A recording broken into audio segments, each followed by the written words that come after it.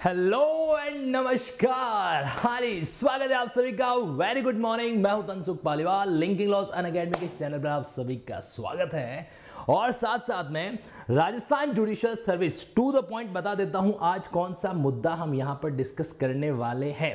Rajasthan judicial service के अंदर इस साल का जो रिक्रूटमेंट आया है एडवर्टाइजमेंट जो आया है उसके अंदर तीन नए कानून, तीन नए एक्ट जोड़े गए हैं, जो कि पहले वाले सिलेबस के अंदर नहीं थे। यानी कि वो कैंडिडेट जो पहले से आरजेएस की तैयारी कर रहे हैं, उनके लिए बिल्कुल नया चीज़ जो है वो ऐड कर दिया गया है।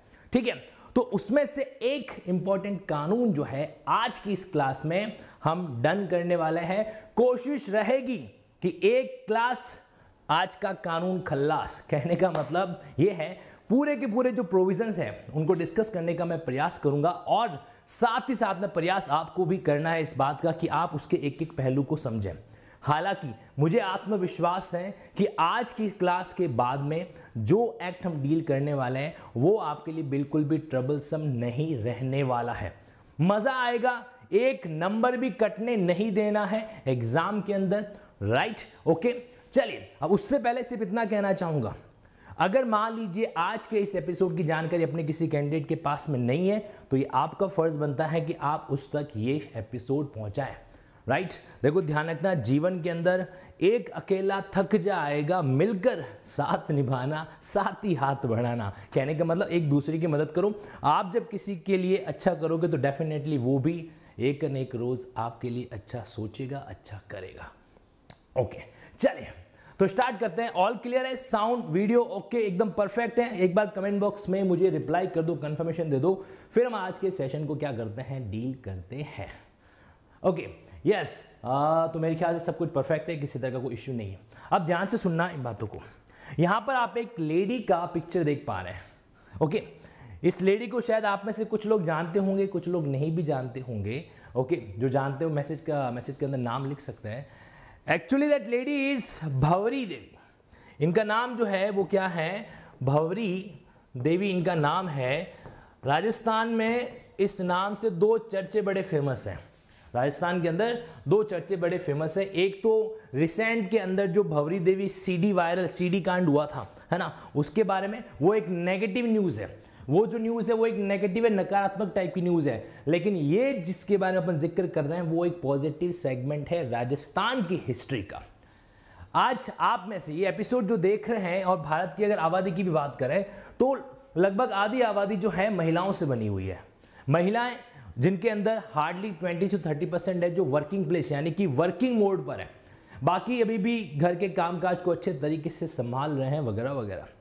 लेकिन जो महिलाएँ ऑफ़िस जा रही हैं, आपको पता है, उनकी भी एक छुपा हुआ दर्द कह दीजिए पेन कह दीजिए, एक रियलिटी कह दीजिए, वो इस कानून के माध्यम से भी हम समझने की कोशिश है जो करने वाला है।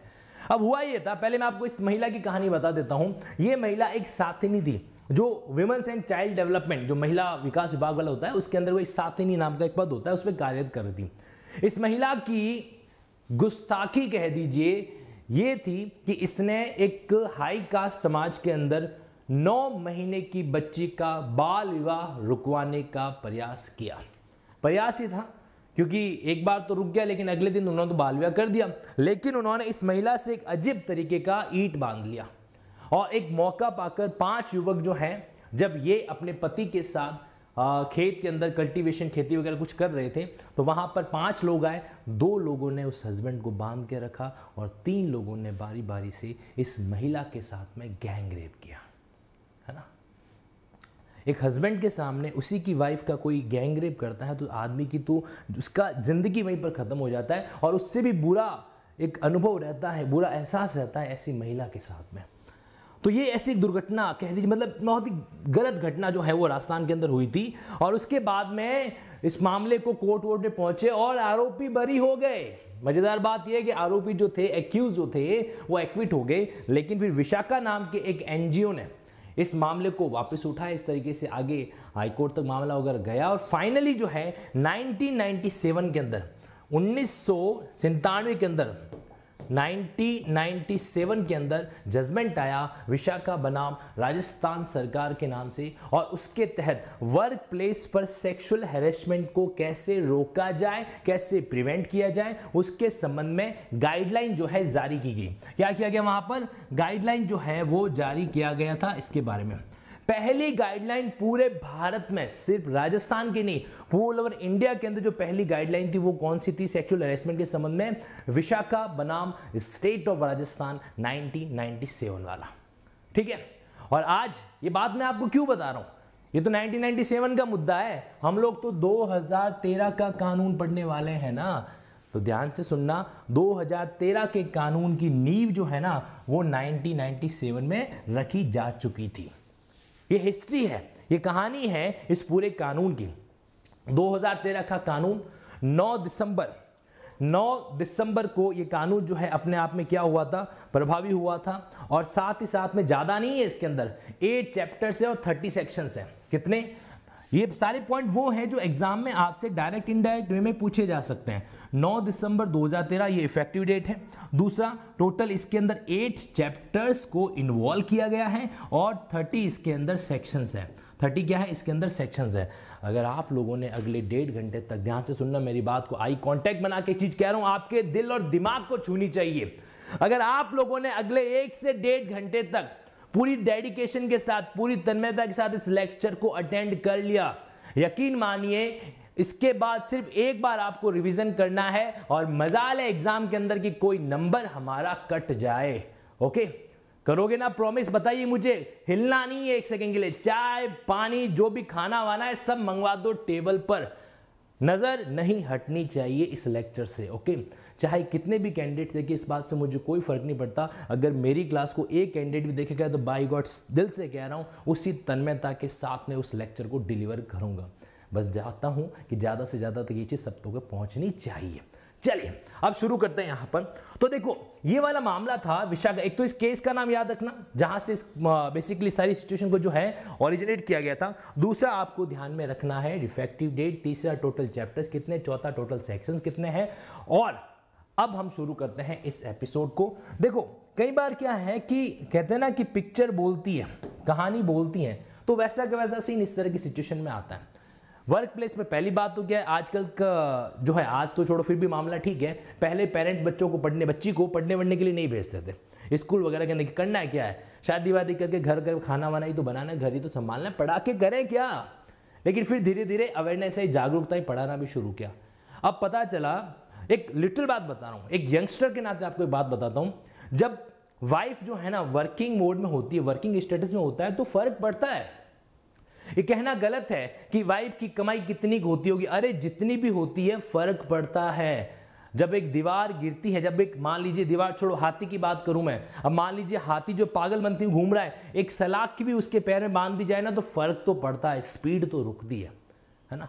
कहने को तो ट्रेन की इतनी स्पीड होती है उसको कोई नहीं रोक सकता। लेकिन हकीकत ये है, ट्रेन जब प्लेटफॉर्म पर आके खड़ी होती ना तो उसके कर्मचारी उस ट्रेन को बांधते सलाखों से ही है। लोहे की इतनी बड़ी गाड़ी को लोहे की छोटी सी जंजीरें बाँध दिए रख सकती है। कहने का मतलब ये, जीवन के अंदर हर कंट्रीब्यूशन बहुत मायने रखता है। और आज के इस महँगाई के दौर में तो भैया हस्बैंड वाइफ दोनों का वर्किंग होना ज़रूरी है। वरना बच्चों को अच्छी वाली परविश परवरिश वगैरह जो है वो नहीं मिलने वाला। ये फैक्ट है। आप चाहे इसको एग्री करें या नहीं करें, ये हकीकत है। इस बात को आजकल के पेरेंट्स को समझना चाहिए कि अगर उनको अपनी बच्ची का भविष्य अच्छे से सिक्योर करना है तो let educate him and training him और उसको अकॉर्डिंगली उनको वर्क प्रोफ़ाइल में सेट कराओ। बट प्रॉब्लम पता क्या आती है? उन पेरेंट्स का दर्द क्या है? बच्ची जब वर्क प्लेस में जाती ना तो लोग मौका नहीं छोड़ते छेड़ाखानी करने का, किसी न किसी बहाने से। क्योंकि जेंडर जो है, एक तरीके से अलग ही टाइप का एक पॉइंट ऑफ़ कह दीजिए एब्यूजिंग एब्यूजनेस बना हुआ है। जहाँ पर जाने जाने में चीज़ें होती होती, ज़बरदस्ती टच कर देना जाते जाते कंधा टच कर दिया। या फिर कोई अकेला मौका देखा, पता चला कि हाँ ये अकेली काम कर रही है वगैरह तो वहाँ पर जाकर ज़बरदस्ती उसके भवरे की तरह डोलते रहना, कुछ न कुछ बातें करना, ज़बरदस्ती चाय, कॉफ़ी ऑफ़र करना और कोशिश करना कैसे कैसे कैसे उससे सेक्सुअल फेवर लिया जाए। देखो 80 परसेंट फैक्ट यही है, जब एक आदमी किसी औरत की मदद करता है ना तो उसके पीछे उसका इंटेंशन बोनाफाइड नहीं होता। 80 परसेंट मामले कह रहा हूँ, मैं 20 परसेंट बोनाफाइड मामलों की बात नहीं कर रहा। एक औरत जिस आदमी के कारण रोती है और उस औरत के आँसू जो आदमी पहुँचता है तो उस आदमी 80 परसेंट कैटेगरी जो है ना, उनका मेलाफाइड इंटेंशन होता है। वो उस महिला से कहीं कहीं सेक्सुअल सेटिस्फेक्शन लेना चाहते हैं। अब ये बात सोचना है कि इसलिए महिलाओं को कौन कौन सी चीज़ों के बारे में जानना है तो वही हमारा टॉपिक है, वही हमारा पर्पस है। और उसी के अकॉर्डिंग क्या करने वाला है? आज की इस क्लास को अच्छे से डील करने वाला है। चलिए तो देखो, अब न्यूट्रल होकर कानून को पढ़ना है। ध्यान रखना, अगर आप एक फीमेल कैंडिडेट्स हो तो आपको पार्शियल होकर इस कानून को नहीं समझना है। आप एक मेल कैंडिडेट्स हो तो आपको इसलिए नहीं पढ़ना है कि तो महिलाओं का कानून न्यूट्रल अप्रोच के साथ क्योंकि जज हमेशा न्यूट्रल होना चाहिए। ओके चलिए, अब यहाँ पर शुरू करते हैं मेन बात को। देखो, अब हमारे पास में कहने को तो सेक्शन एक से लगाकर थर्टी है, लेकिन क्या उन सारे सेक्शन को डील करने का कोई क्रम होगा क्या? कोई तरीका होगा क्या? ऑब्वियसली यस सबसे पहले इस कानून के अंदर हम प्रियम्बल को क्या करने वाले डील करने वाले प्रियम्बल के एस्पेक्ट को अच्छे से हमें समझना है, जानना है। प्रियम्बल क्या होता है? प्रियम्बल बेसिकली किसी भी कानून को बनाने का उद्देश्य क्या है? ऑब्जेक्ट क्या है? उसको आइडेंटिफाई करवाता है। यस और नो ठीक है? अब यहाँ पर प्रियम्बल जो है बहुत बड़ा है। अगर आप इसका प्रियम्बल देखेंगे, इस कानून का बेर एक्ट अगर आपके पास है तो अच्छी बात है, नहीं है तो तुरंत आप इसको डाउनलोड करके इसके पीडीएफ फॉर्मेट से स्टडी करना। यहाँ पर मेरे हाथ में बेर एक्ट है और इसका प्रियम्बल जो है मैं आपके सामने खोल के रख रहा हूँ। देखो बेसिकली क्या है? इस प्रियम्बल के अंदर एक, दो, तीन, चार और पाँच पैराग्राफ जो है मेंशन कर रखे हैं। लेकिन पाँच पैराग्राफ में से सबसे महत्वपूर्ण जो चीज़ है, वो क्या है? उसको समझने की हमें यहाँ पर क्या करना है? कोशिश जो है करना है। देखिए प्रियम्बल वाले एस्पेक्ट से शुरू करते हैं। प्रियम्बल के अंदर दो बातें हैं। एग्ज़ाम में पूछी जा सकती है और एग्ज़ाम में प्रियम्बल को पढ़ नहीं पाओगे, इसलिए ध्यान से समझना उद्देश्य का को। देखिए, क्या होगा यहाँ पर कि जो प्रियम्बल है, उसके अंदर आपको मिलेगी दो चीज़ें। पहला आपको उसके अंदर मिलेगा पर्पस और दूसरा ये एक्ट क्यों इनेक्ट किया गया? यानी कि इस कानून का पर्पस क्या है? पहली बात ये। और दूसरा वाई रीजन क्या है इस कानून को बनाने के पीछे? इसको कानून को इनेक्ट करने के पीछे क्या क्या कारण है? वो बारे में। ठीक है?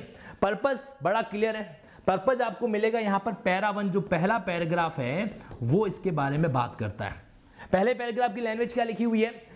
This act and provide protection against sexual harassment of women at workplace and for the prevention and redressal of the complaint of sexual harassment for matters अब देखो, यहाँ पर क्या है? सेक्सुअल अरेस्टमेंट के मैटर को रोकने के लिए और जब सेक्सुअल अरेस्टमेंट का मैटर हो जाता है तो उसकी कंप्लेन कैसी होगी? उस मामले का रिड्रेसल कैसे होगा? उस बारे में ये बात करता है। ये पहला पैराग्राफ हो गया पर्पस।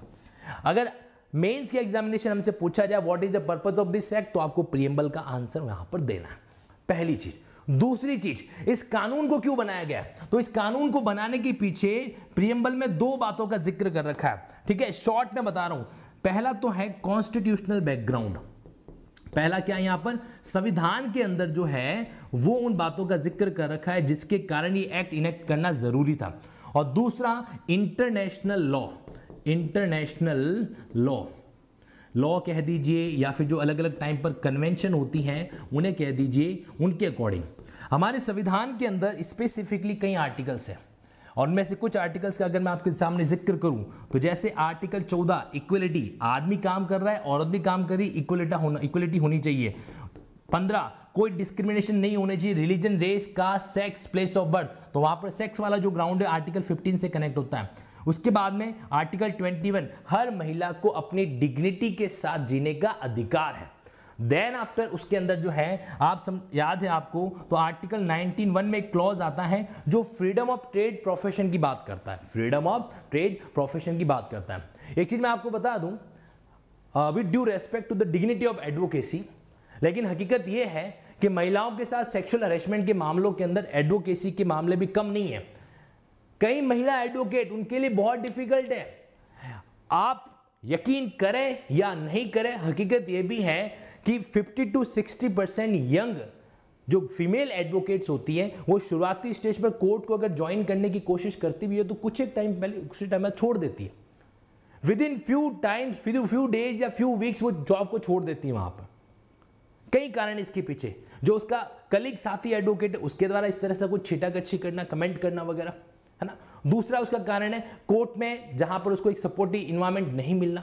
हालाँकि इसी बात पर हमें अप्रिशिएट भी करना चाहिए। कुछ सीनियर एडवोकेट्स वगैरह को और कुछ जजेस को भी जो वाकई में फीमेल एडवोकेट जब होता है तो उसको एक एक स्पेशल डिग्निटी देता है। एक स्पेशल प्रेफरेंस दी जाती है कहीं ना कहीं। और ये वाकई में सराहनीय है क्योंकि एडवोकेसी का फ़ील्ड है ना। देखो हम लोग क्या है हम एल एल किए कर, कर चुके वाले एडवोकेट है या एल एल बी कर रहे हैं। भविष्य के अंदर हम लोग जज बनना चाहते हैं। इसलिए वो फ़ील्ड जो हमसे जुड़ा हुआ है, उसके बारे में बात करनी तो बहुत ज़रूरी है। तो इस फ़ील्ड के अंदर महिलाएँ एडवोकेसी में न के बराबर है। और जो महिला एडवोकेसी के अंदर अपने कदम जमा लेती है, ना मान के चलो कि उसके प्रमोशन उसके एलिवेशन की संभावनाएँ एक मेल कैंडिडेट्स के मुकाबले कई ज़्यादा है, क्योंकि है ही नहीं। फीमेल एडवोकेट है ही नहीं। आज ये डोमेस्टिक वायलेंस के मामले फैमिली कोर्ट के मामले, महिलाएँ बहुत अच्छे से डील कर सकती हैं। इसीलिए यहाँ पर हमें ये बात को भी समझना चाहिए कि कौन कौन से लूप होल भी है।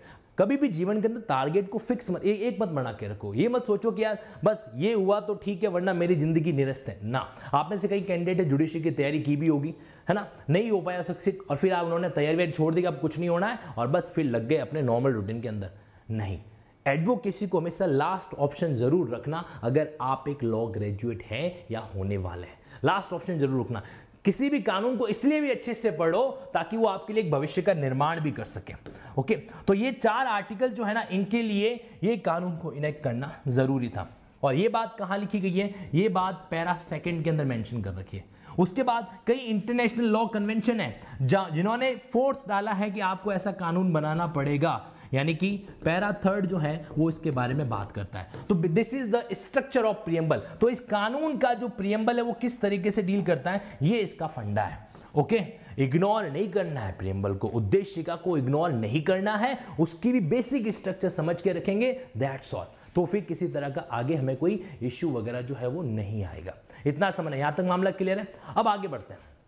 देखो अब इस कानून का मेन पॉइंट कहाँ पर है? इस कानून के अंदर मेन मुद्दा जो है ना, वो आता है सेक्शन थ्री वन के साथ में। थर्टी सेक्शंस है, लेकिन थर्टी सेक्शन को मैं वन टू थ्री फोर के फॉर्मेट में नहीं पढ़ने वाला। ट्रेडिशनल मेथड से बात नहीं करेंगे, ठीक है? उस मेथड से बात करेंगे जिससे लॉजिकल कनेक्टिविटी माइंड में सेट हो सके। एक शब्द होता है चार्जिंग सेक्शन ध्यान से सुनना चार्जिंग सेक्शन ऐसा सेक्शन जिसके कारण उस एक्ट को एक इफ़ेक्ट मिल रहा है, उस कानून को एक प्रभाव मिल रहा है, उस सेक्शन को कहा जाता है चार्जिंग सेक्शन ठीक है? अब यहाँ पर जो चार्जिंग सेक्शन है ना, वो है आपके सेक्शन थ्री का क्लॉज वन सेक्शन थ्री के अंदर दो सब सेक्शन है। सेक्शन थ्री जो है, वो अपने आप में दो भागों में डिवाइड होता है। अगर मैं इसको सेक्शन थ्री का पोस्टमार्टम करूँ तो किस तरीके से स्ट्रक्चर बनेगी, उसको जानने की कोशिश है जो कीजिएगा। एक बात आपको कह रहा हूँ मैं, अगर आपने इससे पहले सेक्सुअल अरेस्टमेंट एक्ट को नहीं पढ़ा है तो पहला अटेम्प्ट आप सेल्फ स्टडी से मत करना। आज पहली बार मैं ये मना कर रहा हूँ कि कुछ कानून के अंदर आप सेल्फ स्टडी डायरेक्टली नहीं करें। पहले उस कानून का एक बेसिक स्ट्रक्चर बेसिक फंडा समझे, उसके बाद उस कानून की सेल्फ स्टडी करना, वरना माइंड में अगर गलत इंटरप्रिटेशन चला जाता है ना तो उसको ठीक करना बहुत मुश्किल है।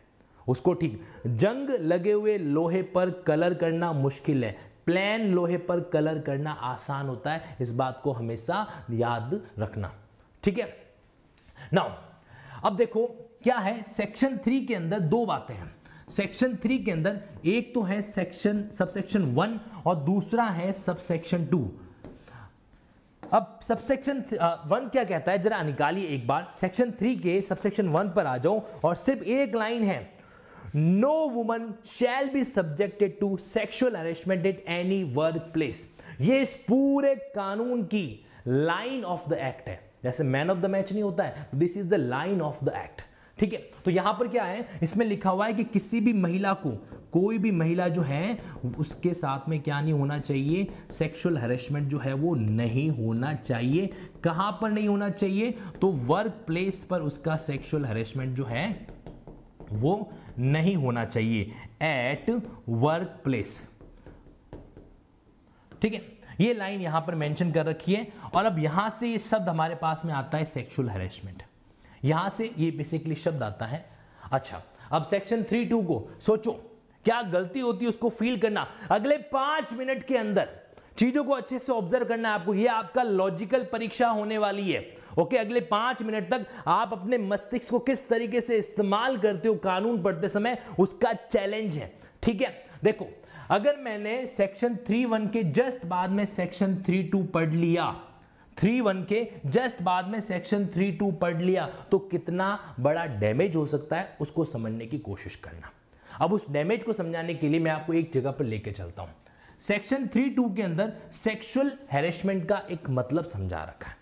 लेकिन ये जो मतलब समझा रखा है ना, ये इसकी एडवांस मीनिंग है। लेकिन कहीं पर लिखा हुआ तो है नहीं कि section three sub section two जो है, वो सेक्सुअल हेरेसमेंट का एडवांस मतलब बताता है। ये तो कहीं लिखा हुआ नहीं है। अब हम ठहरे भोले भाले जीव थ्री वन के बाद फुदक कर आएँगे थ्री टू पर उसको पढ़ने बैठ जाएँगे। और क्या लिखा हुआ थ्री टू के अंदर? The following circumstances among other circumstances note करना इस बात को अमोंग अदर सर्कमस्टेंसेज ये अदर सर्कमस्टेंसेज क्या हो रही है? समझना, ठीक है? If it occur or is present in relation to or connected with any act or behavior of sexual harassment, may amount to sexual harassment ये क्या लिखा है? लास्ट में समझ में नहीं आया। क्या लिखा हुआ है? एनी एक्ट और behaviour of sexual harassment may amount to sexual harassment मतलब क्या है कि सेक्सुअल हरेसमेंट का मामला इस मामले के अंदर सेक्सुअल हरेसमेंट कहलाएगा। है ना? राम का भाई लक्ष्मण है, लक्ष्मण भाई राम है, इसलिए वो राम कहलाएगा। अरे कंफ्यूजन हो जाता है मामला। अब देखो, अब इसको थोड़ा सा आसान बनाते हैं। अगर मैं यहाँ पर सेक्शन थ्री टू को पढ़ने से पहले सेक्शन थ्री टू को पढ़ने से पहले, मैं अगर जाऊँ सेक्शन टू के पास में और उसके क्लॉज एन को एन फॉर न्यू दिल्ली ठीक है? यहाँ पर जाऊँ और यहाँ पर जो एक डेफिनेशन दे रखी है सेक्सुअल अरेस्टमेंट की, उसको समझने की कोशिश करूँ तो मेरे सामने एक स्ट्रक्चर आएगी। Indian penal code chapter 16 section 354 A के अंदर सेक्सुअल हेरेसमेंट को समझाने का अच्छा प्रयास किया गया। ओके 354 ए में जो परिभाषा दे रखी है, ध्यान से सुनना। इंडियन पीनल कोड के आईपीसी के सेक्शन 354 ए में जो डेफिनेशन दे रखी है as it is copy paste की गई है। वापस सुन लो। As it is copy paste की गई है। हाँ, थोड़ा सा क्रम ऊपर और नीचे किया गया। वहाँ पर आपको चार क्लॉज मिलेंगे। यहाँ पर इन्होंने क्या कर दिया? उन चार क्लॉज में से पाँच क्लॉज निकाल के रख दिए। बाकी डिट्टो सेम चीज़ को फॉलो किया गया है। कैसे? आइए जरा समझते हैं यहाँ पर। देखो सेक्शन टू एन के अंदर जो है ना, इन्होंने पाँच पॉइंट बेरेट निकालो। बेरेट के साथ साथ पढ़ेंगे ताकि चीज़ों को समझ सकें। सेक्सुअल हेरेसमेंट इंक्लूड्स पहली बात तो इंक्लूसिव परिभाषा है नोट करना इस बात को। एनी वन और more of the following unwelcome act underline करना शब्द को अनवेलकम मतलब अनवेलकम का मतलब क्या? विदाउट कंसेंट अब इस एक वर्ड से पता चल जाता है कि अगर वर्क प्लेस पर भी महिला ने कंसेंट के साथ अगर कोई ऐसी चीज़ करवा दी तो इस एक्ट में आएगी क्या? नहीं आएगी। अनवेलकम का मतलब जिसको महिला ने डिज़ायर नहीं किया था। ओके अनवेलकम एक्ट और बिहेवियर वेदर डायरेक्टली और बाय इंप्लीकेशन चाहे वो डायरेक्टली हो, चाहे वो इन इंप्लीकेशन के माध्यम से हो नेमली क्या क्या है? सबसे पहले यहाँ पर शब्द दे रखा है, वो है आपके फ़िज़िकल कॉन्टेक्ट आप चाहे तो नोट भी कर सकते हैं और नहीं तो फिर आप टेलीग्राम ग्रुप से कनेक्टेड है ना, फिर से कह रहा हूँ। अब देखो, आज की क्लास का स्पेशल फटाफट से नोटिफिकेशन नहीं आ पाया। क्यों नहीं आ पाया? थोड़ा मामला डाउटफुल था कि भाई इंटरनेट बंद बंद हो जाएगा तो क्लास लेने की नहीं लेनी है। इसलिए आपको यूट्यूब पर लिंकिंग लॉस के चैनल पर और टेलीग्राम के चैनल से कनेक्टेड रहना है, ताकि आपको तुरंत कोई भी चीज़ का नोटिफिकेशन वगैरह आ सके आप उस क्लास को अटेंड कर सकें। तो पहला क्या पॉइंट आ गया? फ़िज़िकल कांटेक्ट करना। मतलब शारीरिक संपर्क करना। दूसरा क्या है? दूसरा यहाँ पे पॉइंट आ रहा है सेक्सुअल फेवर दूसरा यहाँ पे पॉइंट आ रहा है। ये कीवर्ड लिख रहा हूँ मैं जिनके माध्यम से आपको इस, आप इसे याद कर सकते हैं। सेक्सुअल फेवर तीसरा क्या है? सेक्सुअल रिमार्क तीसरा जो पॉइंट आएगा वो क्या आएगा यहाँ पर? सेक्सुअल रिमार्क सेक्सुअल रिमार्क ठीक है चौथा क्या पॉइंट दे रखा है? शो पोर्नोग्राफी मतलब कहीं कहीं जो है अश्लील चीज़ें शो करवाना। ऑफ़िस में महिला बैठी है, उसके सामने ज़बरदस्ती या उसके साइड में कहीं पर आप कोई ब्लू मूवी खोल के बैठ जाते हो, उसका साउंड बढ़ा देते हो अननेसेसरी उसको इंट्रैक्ट करवाना। तो शो पोर्नोग्राफी यानी कि यहाँ पर चौथा पॉइंट कौन सा आ जाएगा? असली चीज़ें दिखाना। ठीक है? और पांचवा पॉइंट क्या आ रहा है यहाँ पर? Any other unwelcome physical verbal non verbal conduct of sexual nature मतलब अदर सेक्सुअल एक्ट कोई भी अदर सेक्सुअल एक्ट जो अपने आप में क्या है? अनवेलकम है। यानी कि other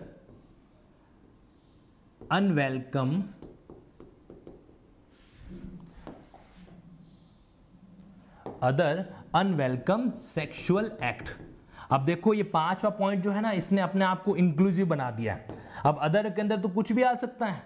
चाहे वो फ़िज़िकल हो नोट करना, चाहे वो फ़िज़िकल हो, चाहे वो वर्बल हो, चाहे वो नॉन वर्बल हो, है ना? सारी चीज़ों को कवर कर दिया इसके अंदर।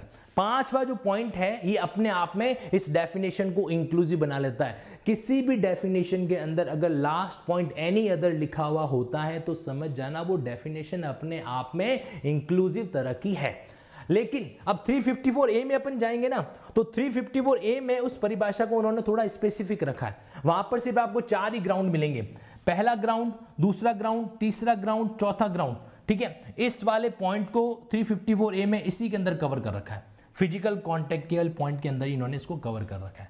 खैर, जो भी हो, ये तो है सेक्सुअल हेरेसमेंट की बेसिक परिभाषा बेसिक चीज़ों के अंदर। तो पाँच बातें आपको ध्यान में रखनी है। पाँच बातें कौन कौन सी? अगर फ़िज़िकल एक्ट करता है तो सेक्सुअल फेवर माँगता है तो सेक्सुअल किसी तरीके से कमेंट करता है, टिप्पणी करता है तो पोर्नोग्राफी दिखाता है तो या फिर अदर कोई सेक्सुअली अनवेलकम एक्ट ठीक है? ये पाँच बातें सेक्सुअल हेरेसमेंट के अंदर आती है। ये बात नोट कर लेना सेक्सुअल हेरेसमेंट एस शब्द से स्टार्ट होता है और एस शब्द के अंदर पाँच एलिमेंट इन्होंने दे रखे हैं ओके तो सेक्सुअल हेरेसमेंट के अंदर पाँच एक्ट आते हैं। अब इसी परिभाषा को, अब पॉइंट नोट करना, अब मैं थ्री टू पे आ रहा हूँ। मैंने आपको कहा था थ्री टू पहले नहीं पढ़ना है। पढ़ लिया तो गड़बड़ हो जाएगा। तो टू एन को पढ़ने के बाद में फिर आओ आप इसके ऊपर। अब थ्री अब थ्री टू को जानने की कोशिश करना। सेक्शन थ्री टू क्या कहता है? अलग अलग सर्कमस्टेंसेज दे रखी है जिसमें इन्होंने कितने? पाँच पॉइंट और दिए हैं। पाँच पॉइंट और दिए हैं और वो भी सेक्सुअल हरेसमेंट कहलाएँगे। यानी कि ये जो है ना, ये एक एडवांस है। ये एडवांस परिभाषा है किसकी? सेक्सुअल हैरेसमेंट की, लैंगिक उत्पीड़न की एडवांस परिभाषा है, जहाँ पर भी पाँच बिंदु दे रखे हैं। पहला, दूसरा, तीसरा, चौथा और पांचवा। कौन कौन से बिंदु है? अंडरलाइन करना। देखो, पहला बिंदु दे रखा है प्रिफरेंशियल ट्रीटमेंट अब जैसे एक ही काम है मेल ने भी किया फीमेल ने भी किया मेल को प्रिफरेंस दे रहे हैं फीमेल को नहीं दे रहे, है ना? या फिर दो महिलाएँ, एक महिला जिसने कॉम्प्रोमाइज कर दिया बॉस के साथ में या अदर एम्प्लॉय के साथ में तो उसको तो प्रेफरेंस दे दी गई, दूसरी वाली को नहीं दिया। डू यू नो आप लोगों ने सुना होगा कि फ़िल्मों में अक्सर ऐसा होता है कि जो फीमेल मॉडल डायरेक्टर के साथ में कॉम्प्रोमाइज करने के लिए तैयार हो जाती है, उसको चांस मिल जाता है मूवी के अंदर। आप लोगों ने सुना होगा। देखो प्रैक्टिकल बात करें, इसमें छुपाना क्या है? जो हकीकत है वो कर सकता हूँ ना बोल्डनेस के साथ बात कर सकता हूँ ना, कानून ही ऐसा पढ़ रहे हैं अपन। कानून ही ऐसा पढ़ रहे हैं, जहाँ पर अगर मैं आपको खुल के नहीं बताऊँगा तो कहीं की चीज़ें क्लियर नहीं होगी। होता है ऐसा। बॉलीवुड मूवीज़ के अंदर बहुत आम बात हो चुकी है मॉडलिंग के अंदर बहुत आम बात हो चुकी है, और हकीकत तो ये है एयर होस्टेस हम लोग सब जानते हैं एयर होस्टेस इनके साथ भी कई जगह ऐसी चीज़ें इनको फेस करनी पड़ती है। लिटरली फैक्ट ये भी है। पहली बात तो ये, हम किसी भी कंपनी को डिफेम फेम नहीं कर रहे हैं नॉर्मल बात कर रहे हैं, ठीक है? जैसे कि मान लीजिए उसको प्रमोट करना है तो उसके साथ के लेट नाइट पार्टी अटेंड करनी पड़ेगी आपको, ये करना पड़ेगा। अब वो भी उसके लिए क्या एक तरीके से हैरेसमेंट है। है ना? तो सोचने वाली बात है, ऐसी कई सारी चीज़ें होती हैं। अब यहाँ पर हमें पाँच बातों को समझना प्रिफरेंशियल ट्रीटमेंट तो पहला बिंदु प्रिफरेंशियल ट्रीटमेंट, दूसरा डेट्रीमेंटल ट्रीटमेंट मतलब उसके अहित में कोई व्यवहार करना, तीसरा उसको धमकी देना कि मैं देखता हूँ तुम कहाँ काम करती हो, है ना? हमें छोड़ के, हमारे ऑर्गेनाइजेशन को छोड़ रहे हो, मैं भी देखता हूँ तुम्हारा कौन तुम्हें जॉब पे रखता है वगैरह वगैरह, ऐसा करके। और होता भी है। एक अंदर की हकीकत आपको ये बताऊँ बड़े बड़े इंस्टीट्यूशन के अंदर जब कोई, जैसे मान लो फीमेल कर्मचारी ने लीव कर दिया और उस ऑर्गेनाइजेशन को बुरा लग गया तो दूसरा ऑर्गेनाइजेशन जहाँ पर वो ज्वाइन कर रही है ना वहाँ तक इनडायरेक्टली एक सूचना पहुँचा दी जाती है उसके कैरेक्टर के संबंध में बी अवेयर सर ये महिला ने हमारे ऑर्गेनाइजेशन में ये चीज़ें हुई आपको ध्यान रखना है। है ना? तो इस तरीके से थ्रेटनिंग करना। हालाँकि अगर ऐसा एक्ट किया जाता है तो, तो अपने आप में और भी ऑफेंसिव है लेकिन थ्रेटनिंग करना यानी कि एम्प्लॉयमेंट थ्रेट देना उसको। उसके बाद में फोर्थ पॉइंट दे रखा है ऑफेंसिव वर्क इन्वायरमेंट या हॉस्टाइल वर्क इन्वायरमेंट और लास्ट में दे रखा है ह्यूमिलिटेटिंग ट्रीटमेंट मतलब अपमानजनक उसके साथ में आचरण करना। तो कौन कौन से बिंदु यहाँ पर मेंशन कर सकते हैं? देखो, सिर्फ़ और सिर्फ़ एक डेफिनेशन को मैं थोड़ा डिटेल में एक्सप्लेन कर रहा हूँ। बाकी की डेफिनेशन हम लोग सीधा बेरेक्ट से ही कवर करेंगे। क्यों? क्योंकि जो कानून हम पढ़ने वाले उस कानून का सीधा संपर्क यहाँ से आएगा। ओके चलिए। तो यहाँ पर पहला पॉइंट क्या आ रखा है? पहला आ रखा है प्रेफरेंस देना। तो ये मैंने पहला पॉइंट लिख लिया एक तरीके से प्राथमिकता देना।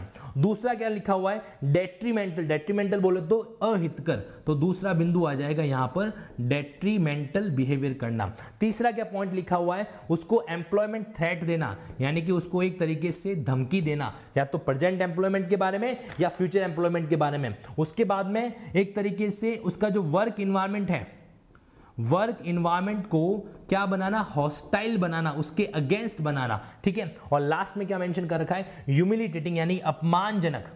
अपमानजनक व्यवहार है जो करना, ये आपके इस कैटेगरी में आ जाएगा, अपमानजनक। तो ये पाँच बातें लेकिन ये पाँच बातें आपको तब पढ़नी है जब आपको इन पाँच बातों के बारे में जानकारी है।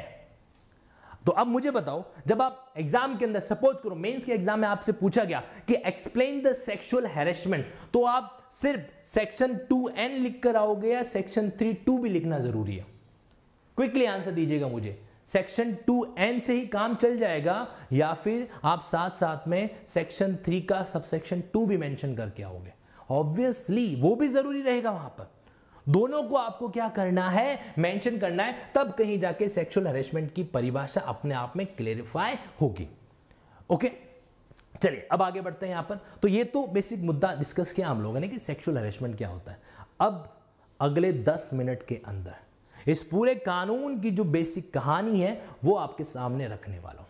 अगले 10 मिनट तक अगर आपने पूरा अटेंशन रख लेना तो आप बेसिक मोटा मोटी रूप से इस कानून के स्ट्रक्चर को समझ जाओगे। अगले 10 मिनट तक हम लोग कोई इंस्ट्रक्शन भी नहीं करेंगे। तो हमारा मेन मुद्दा, अभी आपके एक बार मैं कमेंट देख पा रहा हूँ ओके तो तैयार हो जाओ, नौ। अब सुनिएगा अच्छे से। आप चाहें तो इसको नोट डाउन भी अपने तरीके से कर सकते हैं। देखिए नॉर्मल भूल जाओ कि हम कोई पर्टिकुलर कानून को पढ़ रहे बिल्कुल नॉर्मल बात आपके सामने कर रहा हूँ मैं। ठीक है?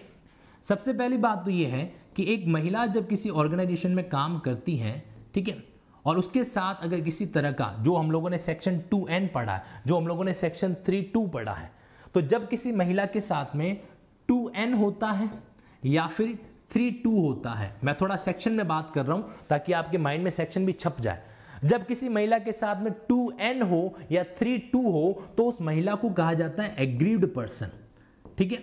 आप क्या कहोगे उसको? एक तरीके से एग्रीव्ड पर्सन सेक्शन टू जो है हमारा, वो 16 16 डेफिनेशन लेकर बैठा है। सेक्शन टू जो है, उसके अंदर टोटल 16 आपको अलग अलग डेफिनेशन दे रखी है, लेकिन काम की डेफिनेशन तो चार पाँच ही है।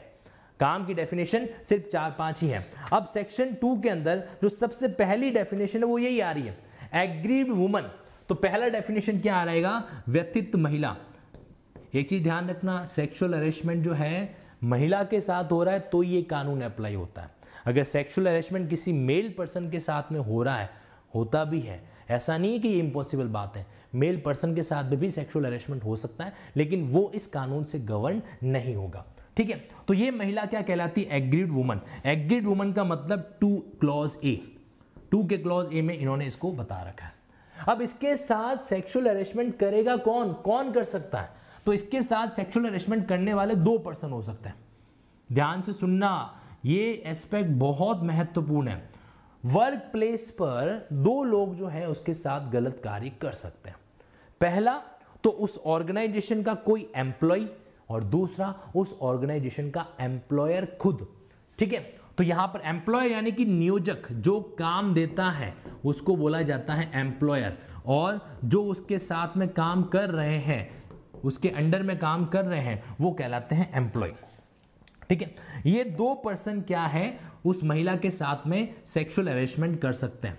अच्छा अगर मान लीजिए कोई तीसरा पर्सन जैसे मान लीजिए एक महिला किसी ऑफ़िस में काम कर रही थी, वहाँ पर कोई बाहर का कस्टमर आता है, वो कस्टमर आके उस महिला के साथ में कोई इस तरह की हरकत करता है, क्या उसको भी इस एक्ट के तहत गवर्न करेंगे क्या?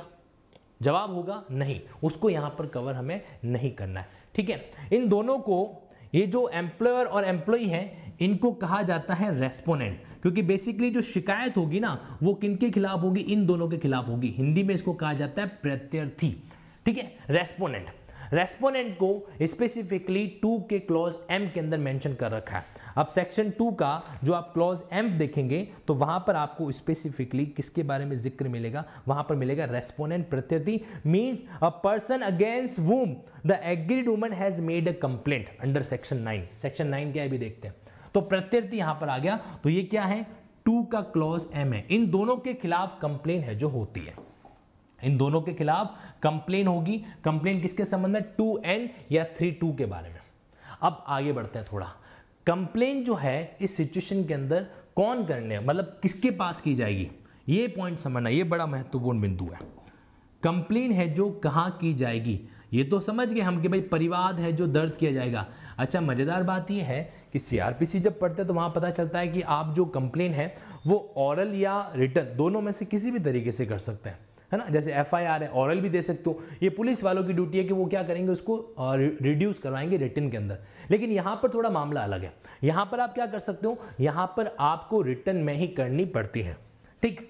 तो कंप्लेन कहाँ पर करेंगे? तो कंप्लेन की जाती है कमिटी के सामने। अब ध्यान से सुनना, अब पूरा एकदम कहानी में ट्विस्ट आने वाला है। ठीक है? कंप्लेन किसके सामने करता है? कमेटी के सामने। अब कमेटी का फंडा समझने से पहले एक ज़रूरी बात इस कानून के बारे में आप जान लो।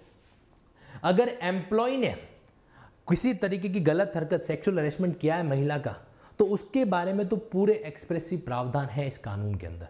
लेकिन इस कानून की एक कमी है कि एम्प्लॉयर अगर ऐसी चीज़ करता है ना तो उसके बारे में नॉट कंप्लीट डिटेल एम्प्लॉयर के द्वारा अगर उस महिला से किसी तरह का सेक्सुअल हेरेसमेंट किया है तो उसकी प्रोसीडिंग में किस तरीके से मामला चलेगा, उसको सज़ा कितनी हो सकती है, उसके ऊपर क्या क्या पैनल ऑर्डर लगाए जा सकते हैं, उसके बारे में ये जो 2013 का कानून है, ये खुलकर बात नहीं करता है।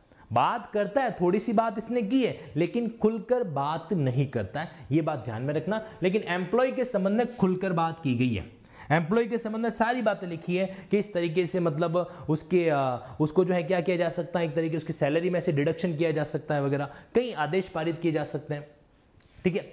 एम्प्लॉयर के बारे में ये एक्ट जो है वो खुलकर बात नहीं करता है। ये एक पॉइंट जनरली याद रखना। अब देखो, हम डिस्कस कर रहे थे कमिटी के बारे में। कमिटी यानी कि समिति। अब इस कानून के अंदर जो है ना, इस कानून में दो तरह की समिति का ज़िक्र यहाँ पर स्पेसिफिकली हो रहा है। ठीक है?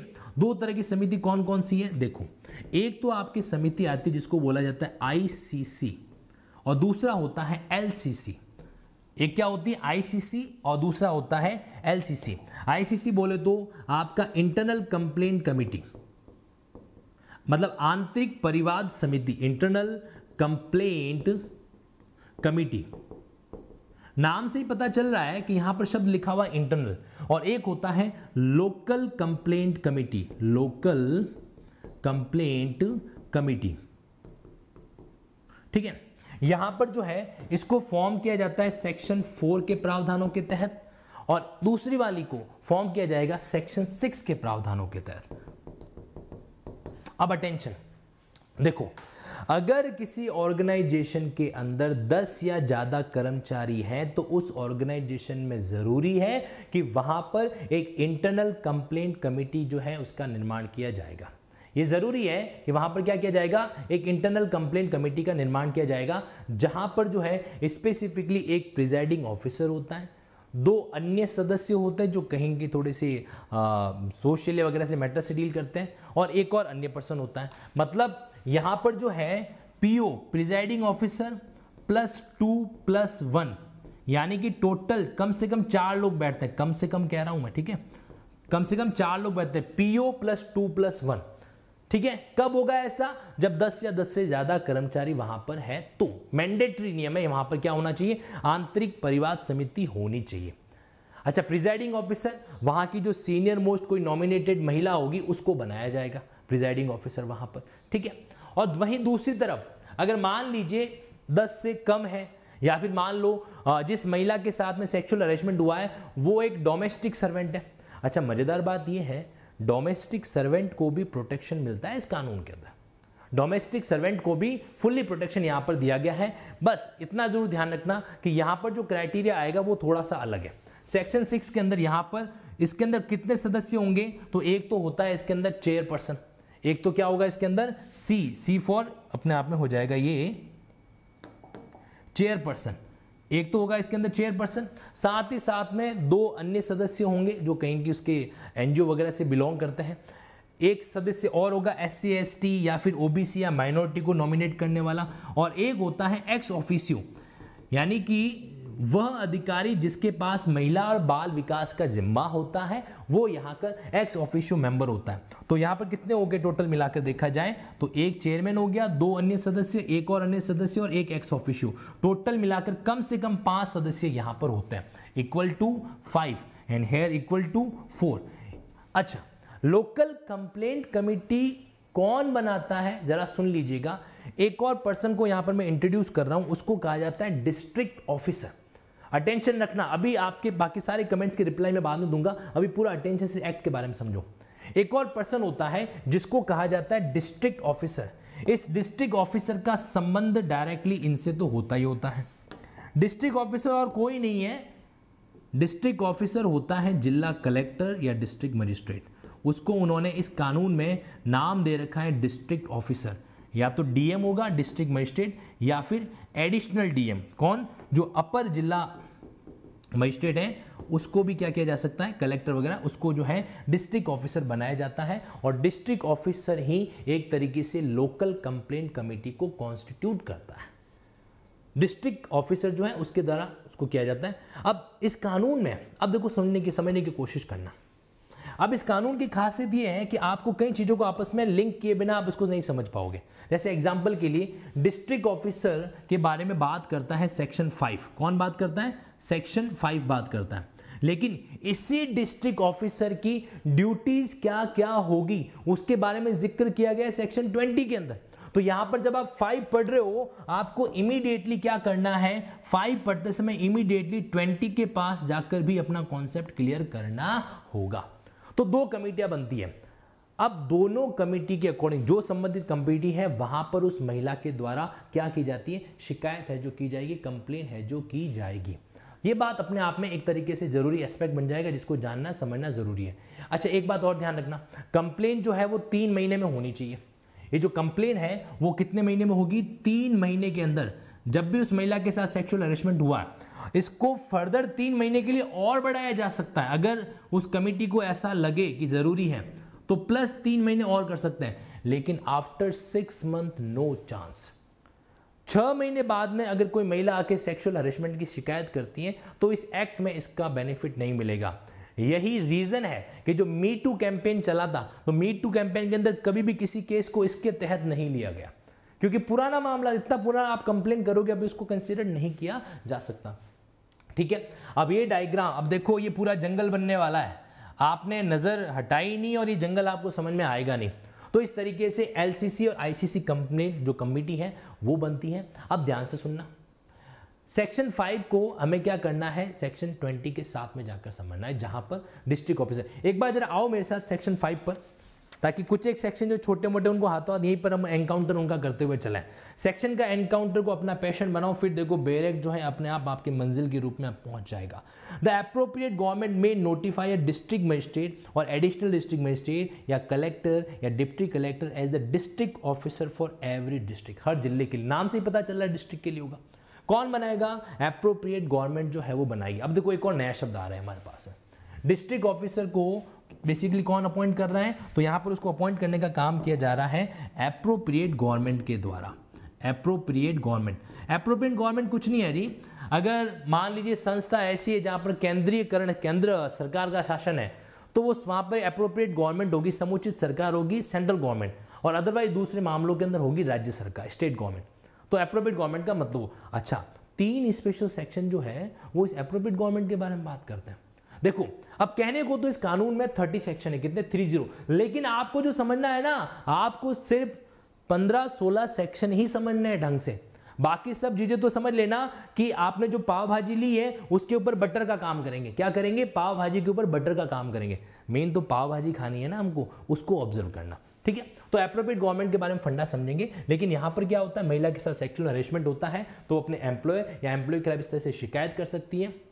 और उसके बाद में उसके बाद में यहाँ पर प्रयास किया जाता है कंसीलिएशन का। मतलब एफर्ट किया जाता है कि भाई किसी तरीके से जो है इनके बीच में समझौता हो जाए। अच्छा एक बात और। ये जो सदस्य है ना, इन सदस्यों को रिमूव भी किया जा सकता है। इन सदस्यों को क्या किया जा सकता है? रिमूव है जो किया जा सकता है। अब सुनना मज़ेदार बात। दो सेक्शन के बीच में इंटरकनेक्टिविटी जानना। अब अगर आईसीसी का सदस्य है, इसको रिमूव करना है तो वहाँ पर आपके स्पेसिफिकली सेक्शन फोर का clause sub sub section five दे रखा है। ठीक है? और अगर एलसीसी लोकल कंप्लेंट कमेटी के सदस्यों को रिमूव करना है तो इसके सारे ग्राउंड जो है, वो आपको कहाँ मिलेंगे? वो मिलेंगे सेक्शन सेवन के क्लॉज थ्री के अंदर सब सेक्शन थ्री के अंदर। दोनों में सेम ग्राउंड है, ये याद रखना। दोनों के सेम ग्राउंड है उनको रिमूव करने के। खैर, चलिए, अब सुनिए अगला हिस्सा। यहाँ तक मामला काम कर रहा है नहीं कर रहा है? सीपीयू इज़ वर्किंग और नॉट फिर अपन क्या करते हैं? आगे बढ़ते हैं यहाँ पर। यहाँ तक ठीक है? ओके। हाँ आज तो पढ़ाओगे पाव भाजी शास्त्री सर्कल जाना पड़ेगा। अरे वाह! मतलब नाम से ही क्या एकदम वो इच्छा जाग जाती है क्या? खैर तो अब देखो, ये तो मामला अभी तक मैंने आपको बताया कि महिला क्या है? कंप्लेंट कमेटी तक पहुँची है।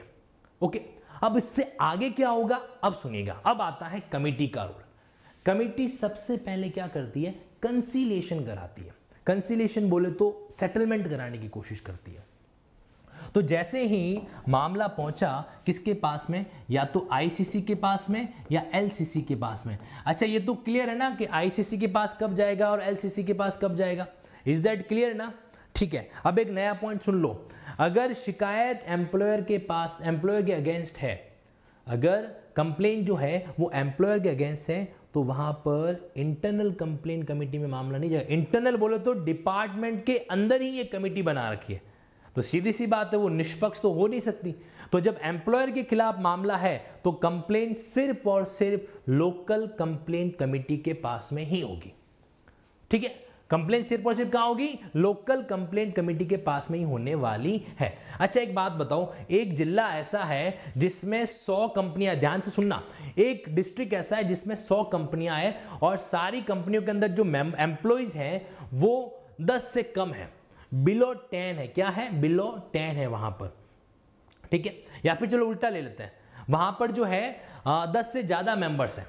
ये एक जिला है। ये सवाल आपसे पूछ रहा हूँ, अच्छे से जवाब देना मुझे। ये एक डिस्ट्रिक्ट है। यहाँ पर टोटल 10 कंपनियाँ हैं। उन 10 कंपनियों के अंदर हर एक में 10 से ज़्यादा एम्प्लॉयज़ है। 10 से ज़्यादा एम्प्लॉयज़ हैं। तो वहाँ पर आईसीसी मैंडेटरी होगी इंटरनल कंप्लेंट कमेटी मैंडेटरी होगी हाँ या ना? अब मेरा सवाल ये है कि अगर इन 10 कंपनियों के अंदर अपने अपने कंप्लेंट कमेटी बनी हुई है, क्या तो भी even in that case also क्या डिस्ट्रिक्ट मजिस्ट्रेट को डिस्ट्रिक्ट ऑफिसर को लोकल कंप्लेंट कमेटी स्टैब्लिश करनी पड़ेगी क्या? ये बताओ आंसर। क्या ऐसे मामलों के अंदर भी उसको जिला अधिकारी को बनानी पड़ेगी? लोकल कंप्लेंट कमेटी, है ना? आंसर यस और नो यस एग्जैक्टली उसको बनानी पड़ेगी। क्यों बनानी पड़ेगी? दो कारण है इसके, दो लॉजिकल कारण बता रहा हूँ इसको मैं। पहला तो बात ये कि लोकल कंप्लेंट कमेटी इसलिए भी ज़रूरी है क्योंकि अगर कोई भी मामला एम्प्लॉयर के अगेंस्ट आया कोई भी मामला नियोक्ता के अगेंस्ट आया तो लोकल कमेटी के पास ही कंप्लेन होगी। पहला पॉइंट दूसरा डोमेस्टिक सर्वेंट के मामलों के अंदर। डोमेस्टिक जैसे मेड रखते हैं वगैरह उसके मामलों के अंदर उसके साथ कोई छेड़ाखानी की हरकतें होती है तो वो भी इसी एक्ट के अंदर गवर्न होती है। अब ये तो संभव है नहीं कि पर्टिकुलर घर के अंदर भी एक इंटरनल कंप्लेन कमेटी बना की जाए है ना? पता चला कि घर में दादा दादी आ, पापा, मम्मी ताऊ जी ताई जी चाचा, चाची वगैरह रहे दस पंद्रह मेंबर थे। वहाँ पर एक मेड काम करने आई थी तो हमने इंटरनल कंप्लेंट कमेटी बना दी, जिसके अंदर माता जी को हेड बना दिया, चाचा जी को और ताऊ जी को मेंबर बना दिया। इस तरीके से मामला ठह गया। ना, ऐसा नहीं होता। डोमेस्टिक सर्वेंट के केस में क्या होगा? वहाँ पर कंप्लेन जो है लोकल कंप्लेंट कमेटी स्थानीय परिवार समिति के पास में ही जाएगी उनके पास में नहीं जाएगी। इज़ दैट क्लियर ओके चलिए। तो यहाँ पर इसीलिए ऐसे मामलों के अंदर ये चीज़ होना ज़रूरी है। अब वापस आ जाता है। देखो, अब हुआ ये कि कंप्लेंट पहुँच गई। कंप्लेंट के बाद क्या करेगा? जो ये आईसीसी और एलसीसी है, ये कंसिलिएशन करवाते हैं। ये क्या कराते हैं? एफर्ट करते हैं कि भाई दोनों में कैसे भी करके समझौता हो जाए। मतलब मामले को यहीं पर जो इस तरह से ख़त्म किया जाए। लेकिन कभी भी मॉनेटरी ग्राउंड पर सिर्फ़ मॉनिटरी ग्राउंड पे जो है कंसिलेशन नहीं हो सकता। इस बात को आपको अच्छे तरीके से क्या करना है? ध्यान में है जो रखना है। मॉनिटरी कंसिलेशन मतलब कि पैसा दे लो मामले को ख़त्म कर दो। ऐसा कभी नहीं होगा। ऐसा जो है कभी नहीं होने वाला, ये बात आपको अच्छे तरीके से माइंड में सेट है जो रखनी है। अच्छा इसमें एक बिंदु और। एक बिंदु आपको ये ध्यान में रखना है कि जब इस तरह का सीन क्रिएट होता है कंसिलेशन का जो प्रयास प्रयास किया जाता है, उसके अंदर हो सकता है संभावना हो कि मतलब एग्री कर जाए वो महिला। और ये भी हो सकता है कि महिला जो वहाँ पर एग्री नहीं करे। ज़बरदस्ती तो की नहीं जा सकती। तो यहाँ पर क्या बनता है? दो सिचुएशन बनती है। अब उन दोनों सिचुएशन को आपको क्या करना है? अच्छे से साथ साथ में ऑब्ज़र्व करते हुए चलना है। ठीक है? अच्छा कंसिलेशन का मुद्दा। सेक्शन नाइन में कंप्लेन होती है। कहाँ पर होती है? सेक्शन नाइन में कंप्लेन हुई। ठीक है? उसके बाद सेक्शन टेन के अंदर कंसिलेशन का एफर्ट है जो किया जाता है। टेन के अंदर। अब इसमें दो संभावना है। या तो मामला सेटल्ड होगा, या तो मामला जो है सेटल्ड होगा या फिर नहीं होगा, ठीक है? मान लेते हैं कि मामला सेटल्ड हो गया, ठीक है? सेटल्ड हो गया तो यहाँ पर क्या करेगा? उस सेटलमेंट को, वो जो कमेटी है, वो रिकॉर्ड करेगी और फॉरवर्ड कर देगी किसको? एम्प्लॉयर को भी और डिस्ट्रिक्ट ऑफिसर को भी, ठीक है? और उसकी कॉपी जो है एग्रीड पर्सन को दे देंगे और उसके बाद में कोई फर्दर इंक्वायरी नहीं होगी। यानी कि यहाँ पर जो है, इसको रिकॉर्ड कर दिया जाएगा। जो भी उन्होंने सेटलमेंट लिया है रिकॉर्ड एंड फॉरवर्ड इसको किसको? सेटलमेंट को। ठीक है? जो भी सेटलमेंट उनके बीच में हुआ और उसके बाद में कोई फर्दर इंक्वायरी नहीं मतलब मामला वहाँ पे एक तरीके से क्लोज हो गया। नो फर्दर इंक्वायरी लेकिन यहाँ पर एक बात है सेटलमेंट जिस टर्म्स एंड कंडीशन पर हुआ सोचो सेटलमेंट जिस टर्म्स एंड कंडीशन पर हुआ है और बाद में जाकर वो ऑर्गेनाइजेशन उन टर्म्स एंड कंडीशन को फॉलो नहीं करे तो तो सिचुएशन के अंदर वापस मामला आगे बढ़ सकता है। यानी कि यहाँ पर एक सीन हमारे सामने ये आएगा if if terms not followed if अगर जो शर्तें हैं उनकी पालना नहीं की गई तो क्या होगा? इफ़ टर्म्स नॉट कॉम्प्लाई तो वहाँ पर क्या होगा? उसके लिए आपको दो मिनट रुकना है, फिर इसका आंसर मैं आपको बताने वाला हूँ कि फिर होगा क्या। अब पहले यहाँ पर आ जाओ। अब क्या होगा? अगर सेटलमेंट नहीं हुआ तो सेटलमेंट जब नहीं होता है तो सिचुएशन में करवाई जाती है इंक्वायरी ठीक है? वहाँ पर क्या होगा? सेटलमेंट नहीं हुआ है तो सेक्शन 11 की इसके अंदर इंक्वायरी होगी। सेक्शन 11 का वहाँ पर क्या बैठेगा? जाँच है जो करवाई जाएगी। ठीक है? उस जाँच के अंदर दो संभावनाएँ बनेगी। अच्छा जाँच जो है, वो कंप्लीट हो जानी चाहिए निब्बे दिनों के अंदर। लेकर नहीं बैठना है मामले को। ठीक है? तो जो इंक्वायरी है, वो निब्बे दिनों के अंदर क्या हो जानी चाहिए कंप्लीट है जो हो जानी चाहिए। ये पॉइंट ध्यान रखना एग्ज़ाम में पूछने लायक है। ठीक है? अच्छा जब ये जाँच करती है ना, जाँच कौन करेगा? जाँच करने का काम भी इंटरनल कंप्लेंट कमेटी या फिर लोकल कंप्लेंट कमेटी का होता है। और अगली लाइन सीधा शॉर्ट आने वाला अच्छे से। कैच कर लेना।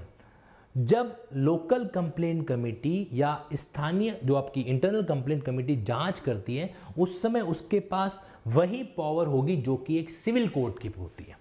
यानी कि जाँच करते समय उनके पास में जो पावर होगी will be same as civil court civil court की तरह ही उनके पास में पावर होती है, ये बिंदु ध्यान में रखना। देखो, अभी थोड़ा थोड़ा समझते जाओ, इस क्लास के एंड में मैं कोशिश करूँगा पूरा एक साथ रिकॉल करवाने की और उसमें सेक्शन को भी अपन इस्तेमाल करेंगे। सेक्शन नाइन के अंदर कंप्लेन हो गई सेक्शन 10 के अंदर सेटलमेंट कंसिलेशन कराने का एफर्ट हो गया। जब एफर्ट काम नहीं किया तो हमने सेक्शन 11 के अंदर क्या की उसकी? कंप्लेन है जो सॉरी इंक्वायरी है जो कंडक्ट करवाई है।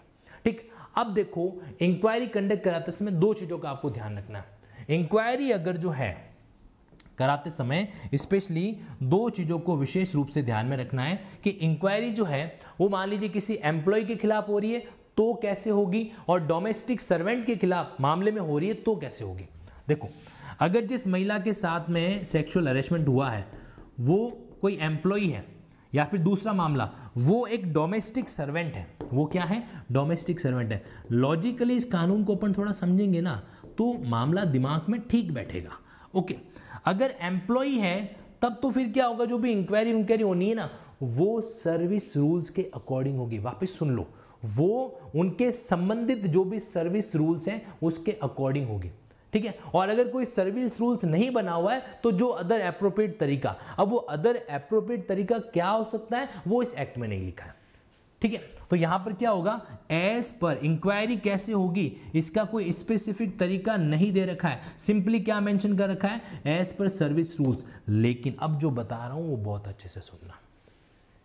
अगर मामला डोमेस्टिक सर्वेंट का आता है तो वो कमेटी डोमेस्टिक सर्वेंट के साथ में अगर सेक्सुअल अरेस्टमेंट हुआ है, और उस कमेटी को प्राइमा फेसाई प्रथम दृष्टिया ये लग रहा है कि हाँ मामला बना है तो वो सात दिन के भीतर पुलिस को कंप्लेन करेगी आईपीसी के सेक्शन 509 में।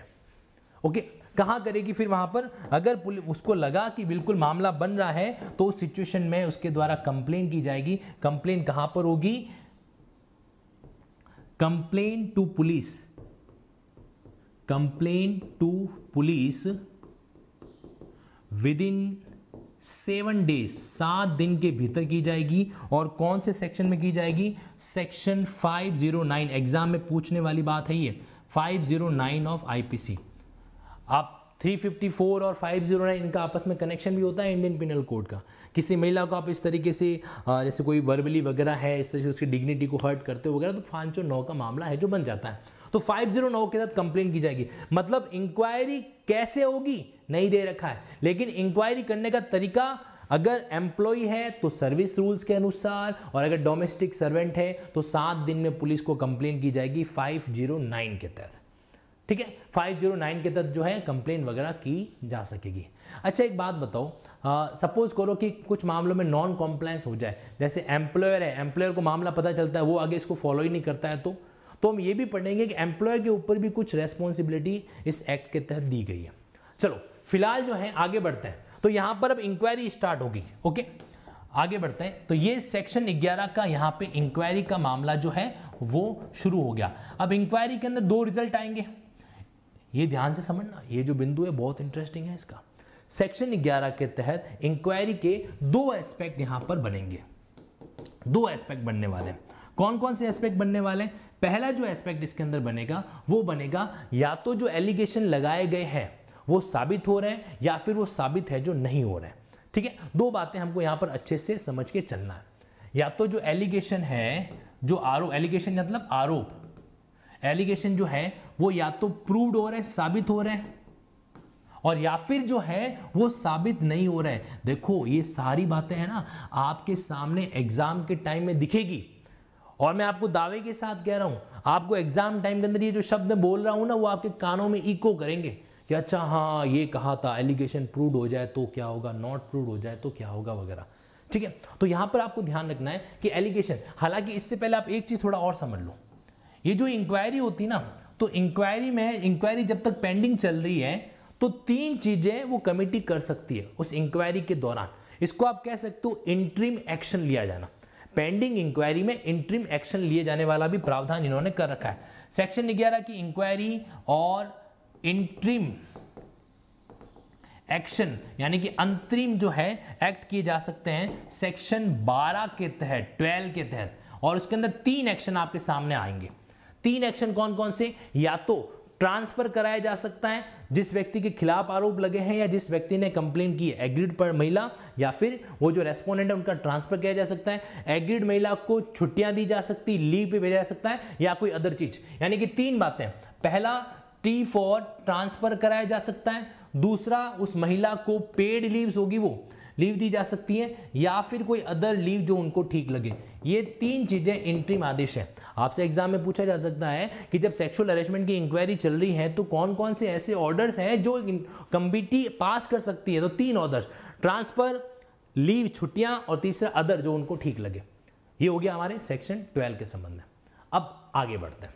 देखो, जब कमिटी का इन्वेस्ट इंक्वायरी कंप्लीट हो जाता है इंक्वायरी जैसे ही कंप्लीट हुई तो 10 दिन के भीतर, कितने दिन के भीतर? 10 दिन। 10 डेज़ के भीतर वो क्या करेंगे? अपनी जो है फाइनल बात कंक्लूजन है जो बताएँगे रिपोर्ट बताएँगे। अब यहाँ पर जो ये रिपोर्ट बताई जाती है, उसके लिए अप्लाई होता है सेक्शन 13 अब ध्यान से सुनना, गब्बर सिंह आ गया है। सेक्शन 13 सेक्शन 13 के अंदर दो कैटेगरी बन रही है। अगर मान लीजिए जो एलिगेशन लगाए गए, वो साबित हो गए, तब तो वहाँ पर अप्लाई हो जाएगा तेरह का क्लॉज थ्री सबसेक्शन थ्री और अगर वो साबित नहीं हुए तो वहाँ पर आ जाएगा तेरह का सबसेक्शन टू अब आपको पता है, मैं इन दोनों सबसेक्शन पर ज़ोर इसलिए दे रहा हूँ कि आगे जाकर आप अपील के प्रोविज़न पढ़ने वालों इसी के अंदर। ठीक है? और अपील के प्रोविज़न के अंदर ये नहीं लिखा हुआ है कौन कौन से मामलों के अपील वहाँ सीधे सीधे सेक्शन छोड़े गए। तेरह, तीन का क्लॉज वन तेरह का दो, तेरह, तीन का क्लॉज टू उस समय गड़बड़ ना हो, इसीलिए आपको यहाँ पर मैं उन सेक्शन को थोड़ा नाम दे दे के बता रहा हूँ। ठीक है? तो सेक्शन तेरह के अंदर एलिगेशन जब साबित हो जाता है तो तेरह तीन के तहत दो तरह के ऑर्डर पास किए जा सकते हैं। तेरह तीन के तहत दो तरीके के ऑर्डर पास किए जा सकते हैं। ठीक है? तेरह तीन के अंदर सबसे पहले ऑर्डर वन क्लॉज वन यहाँ पर क्या किया जाएगा? उसके खिलाफ सर्विस मिसकंडक्ट की कार्रवाई की जाएगी। क्या कहेंगे इसको अपन? सर्विस का मिसकंडक्ट करना। और फिर जो भी सर्विस रूल्स क्या कहते हैं? उसके अकॉर्डिंग प्रोसीडिंग कर लिया जाएगा।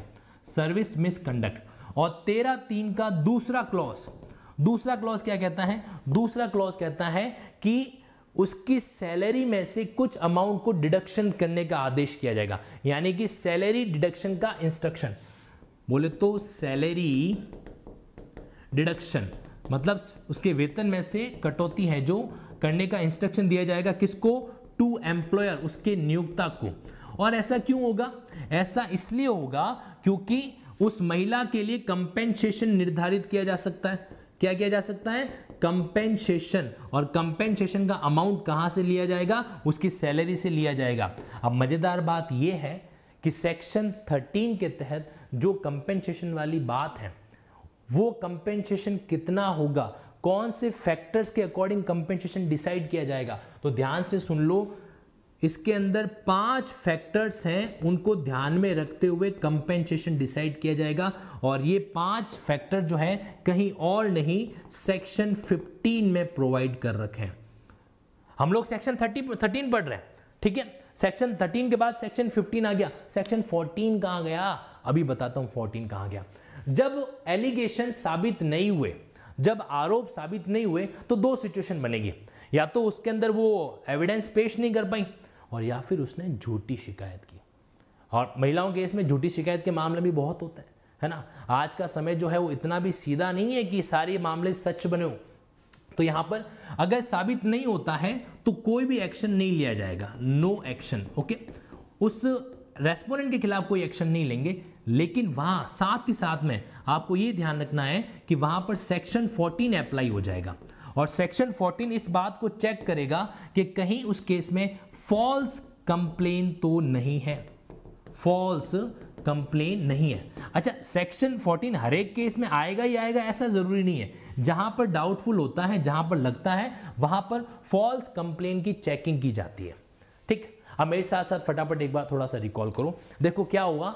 सेक्शन नाइन के अंदर, अब देखो मैं जो बात बता रहा हूँ ना, आपको साथ साथ थोड़ी बोलनी भी है। अपने मन में बोलना ओके सेक्शन नाइन के अंदर कंप्लेन हुई। सेक्शन नाइन के अंदर क्या हुआ? उस मामले का जो है प्रॉपर तरीके से जो भी है कंप्लेन कंप्लेन करना था। चाहे इंटरनल कंप्लेन कमेटी को करना पड़े, चाहे लोकल कंप्लेन कमेटी को करना पड़े, इस तरीके से उन्होंने कंप्लेन कर दी। सेक्शन टेन में वो कमेटी कंसिलेशन कराने का प्रयास करेगी सेटलमेंट कराने की कोशिश करेगी। सेटलमेंट हुआ तो ठीक, नहीं हुआ तो सेक्शन 11 की इंक्वायरी स्टार्ट हो जाएगी। सेक्शन 11 की इंक्वायरी जब चल रही है तो सेक्शन 12 के तहत वो कमेटी कुछ इंट्रीम आदेश दे सकती है सेक्शन 12 के तहत। और फाइनली सेक्शन 13 में अपना कंक्लूजन देगी कि वो एलिगेशन प्रूव हुए या नहीं हुए। अगर प्रूव हुए तो सेक्शन 13 का क्लॉज थ्री जो है, वो दो बातें बताता है। सर्विस मिसकंडक्ट का आदेश हो सकता है, या फिर उस केस के अंदर क्या होगा? सैलरी डिडक्शन किया जाएगा कंपेंसेशन के लिए। कंपेंसेशन कितना होगा? वो सेक्शन 15 डिसाइड करेगा। ठीक है? उसके बाद में अगर नॉट प्रूव्ड है एलिगेशन आरोप साबित नहीं हुए तो सेक्शन 14 के तहत कोई एक्शन नहीं लिया जाएगा। और वहाँ पर यह भी है कि जो फॉल्स कंप्लेन है, फिर उसकी इंक्वायरी वाला मामला बैठ सकता है। सेक्शन 14 के तहत ये वाली चीज़ वहाँ पर हो जाएगी। ठीक है? और फिर फॉल्स कंप्लेन का जो नॉर्मल प्रोसीजर रहेगा, उसको फॉलो वॉलो किया जा सकता है। ठीक है? यहाँ तक यहाँ तक मामला क्लियर है यस और नो यहाँ तक सिचुएशन ठीक है हाँ या नहीं? ओके मतलब हमें क्या करना है? सीधे वे में समझना है। अच्छा एक बात बताओ, ये जो सेक्शन चौदह है ना, ये अक्सर होता है। एक बात आपको मैं प्रैक्टिकली बताऊँ, कई बार ऐसा देखा गया है कि ऐसा कहा भी जाता है और कुछ हद तक, कुछ हद तक सर्टन एक्सटेंट तक, ये बात थोड़ा फैक्ट भी लगता है कि महिलाएँ जो है वो शॉर्ट टेम्पर जल्दी होती है। है ना? वापिस सुन लो, मैं सिर्फ़ कुछ एक बात बात कर रहा हूँ सर्टन एक्सटेंट तक, ठीक है? ताकि आप लोगों का माइंड थोड़ा रिफ्रेश हो सके, क्योंकि आगे की जो बातें कर सकूँ आपके माइंड में घुसनी भी तो बहुत ज़रूरी है ना। तो अभी आपके माइंड को थोड़ा सा रिफ्रेश कर लेते हैं। तो कई बार ऐसा होता है कि नारी शक्ति जो प्रबल हो जाती है। डू यू रिमेंबर पार्वती ने पार्वती जी ने शिव जी के खिलाफ युद्ध स्टार्ट कर दिया था? है ना? शायद आपको ध्यान हो कि नहीं हो तो पार्वती जी का एक लड़ाकू वाला रूप भी था। लड़कू बोलो तो एक एंग्री वुमन वाला रूप भी था है ना? आ, काली माता तो नहीं कहेंगे कोई अलग नाम है उसका। तो शिव जी के खिलाफ युद्ध स्टार्ट कर दिया। तो जब नारी शक्ति जो है ना जब नाराज़ होती है ना तो ध्यान रखना वो पति देव नहीं है फिर। फिर पति का कौन कौन सा पत्यारा निकल जाएगा पता ही नहीं चलता। ठीक है? तो अब यहाँ पर क्या होगा कि कई बार वर्क प्लेस पर भी कुछ महिलाएँ मिसयूज कर देती इन कानून का। उनको लगता है कि यार उस बंदे को मेरे को निकलवाना है। वो बंदा जो है मतलब मेरे प्रो, मेरे प्रोग्रेस में बीच में आ रहा है। तो अब उसका हथियार क्या है? तो उसका हथियार ये होता है कि वो उसको कैसे कैसे फंसाने की कोशिश करती है। जैसे मतलब कोई भी कई बार वो झूठी कंप्लेन पर भी आ जाती है है ना? नारी अगर ठान ले तो लंका का विध्वंस होने से कोई नहीं रोक सकता। लंका बोले तो उस व्यक्ति का करियर। कई ऐसे मामले भी हुए। एक वो मामला आप लोगों को याद हो तो ट्रैफ़िक रेड लाइट का एक मामला था। जहाँ पर एक व्यक्ति जो है, मैं नाम रिकॉल नहीं कर पा रहा हूँ, वो ट्रैफ़िक सिग्नल पर आके लेफ़्ट साइड में मुड़ना चाहता था। अचानक एक महिला ज़बरदस्ती आगे से, आगे दौड़ती हुई आ जाती है, उसको रुकने का इशारा करती है, फिर भी वो व्यक्ति लेफ़्ट साइड में टर्न ले रहा था तो वो महिला रुकती है कि ठीक, रुक, मैं तेरे को अभी दिखाती हूँ। इस तरह से मोबाइल से उसका फ़ोटो खींचती है, वो व्यक्ति मना कर रहा होता है, वो महिला घर जाती है, उस फ़ोटो को फेसबुक पोस्ट पर डाल देती है कि I am a victim of eve teasing और फिर फेसबुक पर मीडिया को दिया, बहादुर महिला, दबंग महिला, ऐसे बदमाशों छिचोरों से लड़ने वाली महिला। और पता है, उस केस में क्या हुआ? उस केस के अंदर लास्ट में जाके वो बंदा एक्विट हो गया। उस पता चला, वहाँ पर एक आई विटनेस आता है। जहाँ पर ट्रैफ़िक की बात थी ना, उसके जस्ट पीछे स्कूटर पर एक कपल बैठा हुआ था। चार पाँच साल बाद में वो कपल आता है। कोर्ट के अंदर कहता है कि ये लड़की झूठ बोल रही है। हम उस समय आई विटनेस थे। इस लड़के ने वहाँ पर कुछ नहीं किया। अब हुआ पता है क्या? पाँच छह साल तक उस लड़की को तो फॉरन पढ़ाई के लिए भेज दिया उसके पिता ने। फॉरेन पढ़ाई करने के लिए वो चली गई। आराम से पढ़ रही है। जब भी ट्रायल की हियरिंग होती, कभी आती, कभी नहीं आती। और छः साल तक उस लड़के के साथ क्या हुआ? उसको जॉब से निकाल दिया गया। कहीं और पर उसको जॉब नहीं मिल रहा था। अब यहाँ पर क्या है कि पूरा का पूरा मामला ही बिगड़ जाता है। तो इस बात से हम इनकार नहीं कर सकती कई बार थोड़ा सा मिसयूज हो भी जाता है। वर्क प्लेस पर भी ये चीज़ें होती है। इसलिए सेक्शन 14 का होना अपनी जगह पर ज़रूरी है। ओके इसलिए लाइफ के अंदर एक डिस्टेंस को फॉलो करना बहुत ज़रूरी होता है। आप सफ़ेद कमीज पहनकर बैठे हो, ये मान के चलो। ठीक है? इसलिए हर चीज़ संवेदनशीलता के साथ सेंसिटिविटी के साथ आगे बढ़नी चाहिए। ओके चलिए तो ये वो दिल्ली वैली का कोई घटना था, बात पे बात आई तो ज़िक्र विक्र कर दिया, वापस आ जाऊँ। कोई ओपिनियन फ्रेम मत करना, मैं सिर्फ़ इतना कहना चाह रहा हूँ कि दोनों बातें होती, हर जगह पे होता है। आज हम कई जगह देखते हैं, जैसे कोई भी कानून बना हुआ है प्रोटेक्शन पर्पज़ के लिए डॉवरी का भी मिसयूज हो जाता है। अच्छा कोई ये ऐसा नहीं कि सिर्फ़ महिलाओं के आदमी मिसयूज करने से कौन से चूकते हैं, है ना? चाहे आप कोई भी ऐसा कोई कानून, ऐसा बन जाए, लग रहा कोई दूसरा तरीका नहीं है तो फिर वो हथियार लास्ट हथियार वो वाला निकालते हैं, है ना? तो यहाँ पर ये चीज़ें अपने आप में बहुत वर्कआउट करती है। खैर अब आ जाओ, ये यूट्यूब पे आप सर्च कर लें नॉर्मल बात बताइए मैंने आपको। अब देखो, अब बढ़ते हैं आगे। अब थोड़े से फ्रेश हो चुके हो, है ना? कोई बीच में कोई मसाला मिल जाए ना, पढ़ते पढ़ते बीच में तो मज़ा आ जाता है। हम भी ऐसे ही थे, हम भी जब वो पढ़ते थे तो वो आधा घंटा जब सर लेक्चर सुना रहे थे, पक जाते थे। अब सर को कह तो नहीं सकते सर वी आर पकिंग बोले तो वी आर कुकिंग वो तुम कह नहीं सकते, है ना? लेकिन फिर भी जब बीच में कोई दूसरी बात करने लग जाते फिर थोड़ा सा रिफ्रेशमेंट अब देखो, अभी तक आप लोगों ने समझा कि भाई कमेटी इस तरीके से इंक्वायरी इंक्वायरी कंप्लीट कराती है और देन आफ्टर जो है मामला आगे प्रोसीड है, जो हो जाता है। अच्छा अब जो ये ऑर्डर हुए ना, ये ऑर्डर जो हुए, उनके खिलाफ अपील की जा सकती है। अपील कहाँ पर होगी? तो नॉर्मल जिस कोर्ट में अपील होती है, उस कोर्ट में क्या हो जाएगी? अपील जो है, हो जाती है। अब देखो, मैं आपको सेक्शन 18 पढ़ाता हूँ। अगर मैंने आपको ये डायग्राम वाइग्राम बनाने से पहले सेक्शन 18 का स्टडी कराया होता ना तो बाई गॉड आप इंटरनली कहते तो, तो नहीं लेकिन एक बड़ा सा पत्थर जो है मेरे ऊपर मेरे स्टैचू पर ज़रूर मार देते है ना? हालाँकि अभी तक स्टैचू बना ही नहीं है कहाँ पत्थर मारोगे? खैर कोई बात नहीं। मेन बात ये है कि इस तरह से नाराज़गी ज़ाहिर करते लेकिन अब हम जो सेक्शन 18 पढ़ेंगे ना 18 पढ़ेंगे ना तो अब मुझे बताना कि 18 के पढ़ने के बाद में आपको कहीं मानसिक डिलेमा तो नहीं फील हो रहा है? अब देखो 18 में क्या लिखा हुआ है?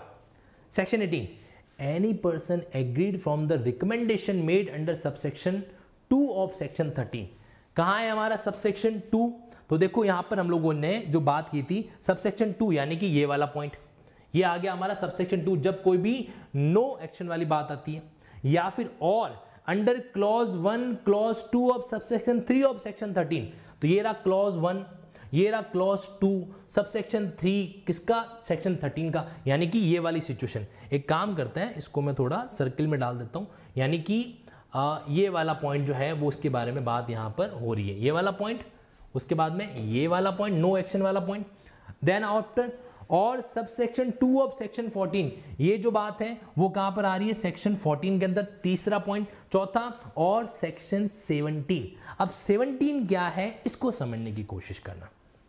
देखो 17 को जानने के लिए आपको सेक्शन 16 पढ़ना पड़ेगा। पहले तो एग्ज़ाम के अंदर आपका अगर ये सवाल आए, देखो ये मेंस का सवाल है। मेंस की तैयारी प्री के साथ होती है, ये बार बार कहता नहीं हूँ, इसको फील करना।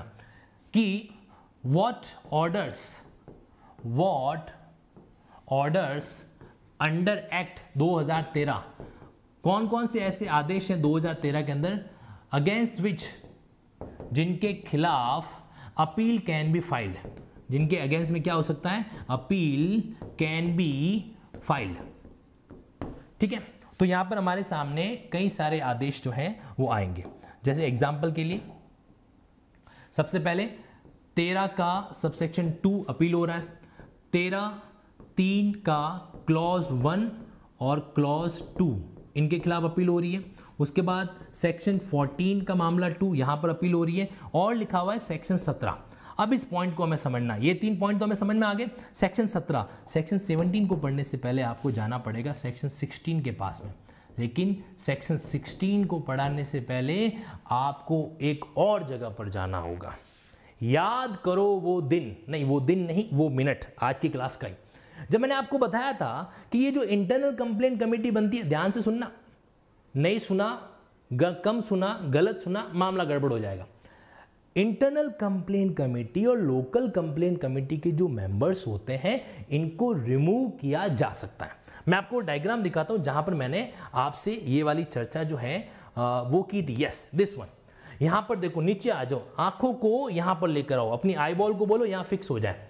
तो ये जो आईसीसी के जो मेंबर्स थे और ये जो एलसीसी के मेंबर्स थे, उनको हटाया जा सकता है। सेक्शन चार का सबसेक्शन फाइव देखो चार के अंदर ये आईसीसी गठित गठित होती है कॉन्स्टिट्यूट होती है, और सिक्स के अंदर ये वाली गठित होती है। तो यहाँ पर इस पॉइंट के अंदर इसके अंदर सेम वाला प्रोविज़न अप्लाई होता है रिमूव करने का। अब रिमूवल के अलग अलग ग्राउंड है। रिमूवल के, जरा एक बार सेक्शन फोर के सबसेक्शन फाइव पर आओ तो। सेक्शन फोर पे आ जाओ। सेक्शन फोर में इंटरनल कंप्लेंट कमेटी गठित होती है। देखो अपने मस्तिष्क को ये बोलो कि यार मेरे को फंडा समझ में आ गया इस एक्ट का। इसलिए अगर सर बाई चांस मेरे को डायरेक्ट सेक्शन रीड करवा रहे हैं तो मैं ये नहीं सोचूँगा कि सर ऐसा क्यों करवा रहे हैं। ये शपथ अपने आप से ले लो और अब जो मैं कह रहा हूँ, उसको फॉलो करने की कोशिश करना, है ना? क्या है कि दिमाग में से थोड़ी सी बदमाशी बाहर निकाल देना तो फिर अंदर बैठता है एक सिंसियर स्टूडेंट और सिंसियर स्टूडेंट को पढ़ाने में बहुत मज़ा आता है। आनंद आ जाता है सच में।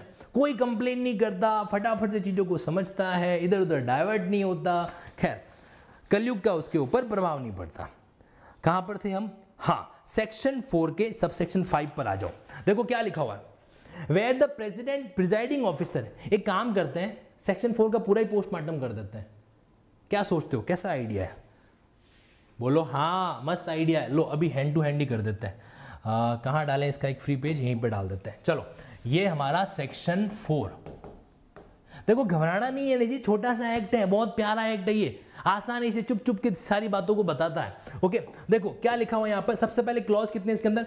एक, दो, तीन, चार, पाँच। टोटल पाँच क्लॉज है, चलो। तो पाँच मैं बना रहा हूँ यहाँ पर branches one two three four five आनंद लेना टेंशन में मत आना, ठीक है? वन हो गया टू हो गया थ्री हो गया फोर हो गया, और ये मेरा क्लॉज फाइव हो गया।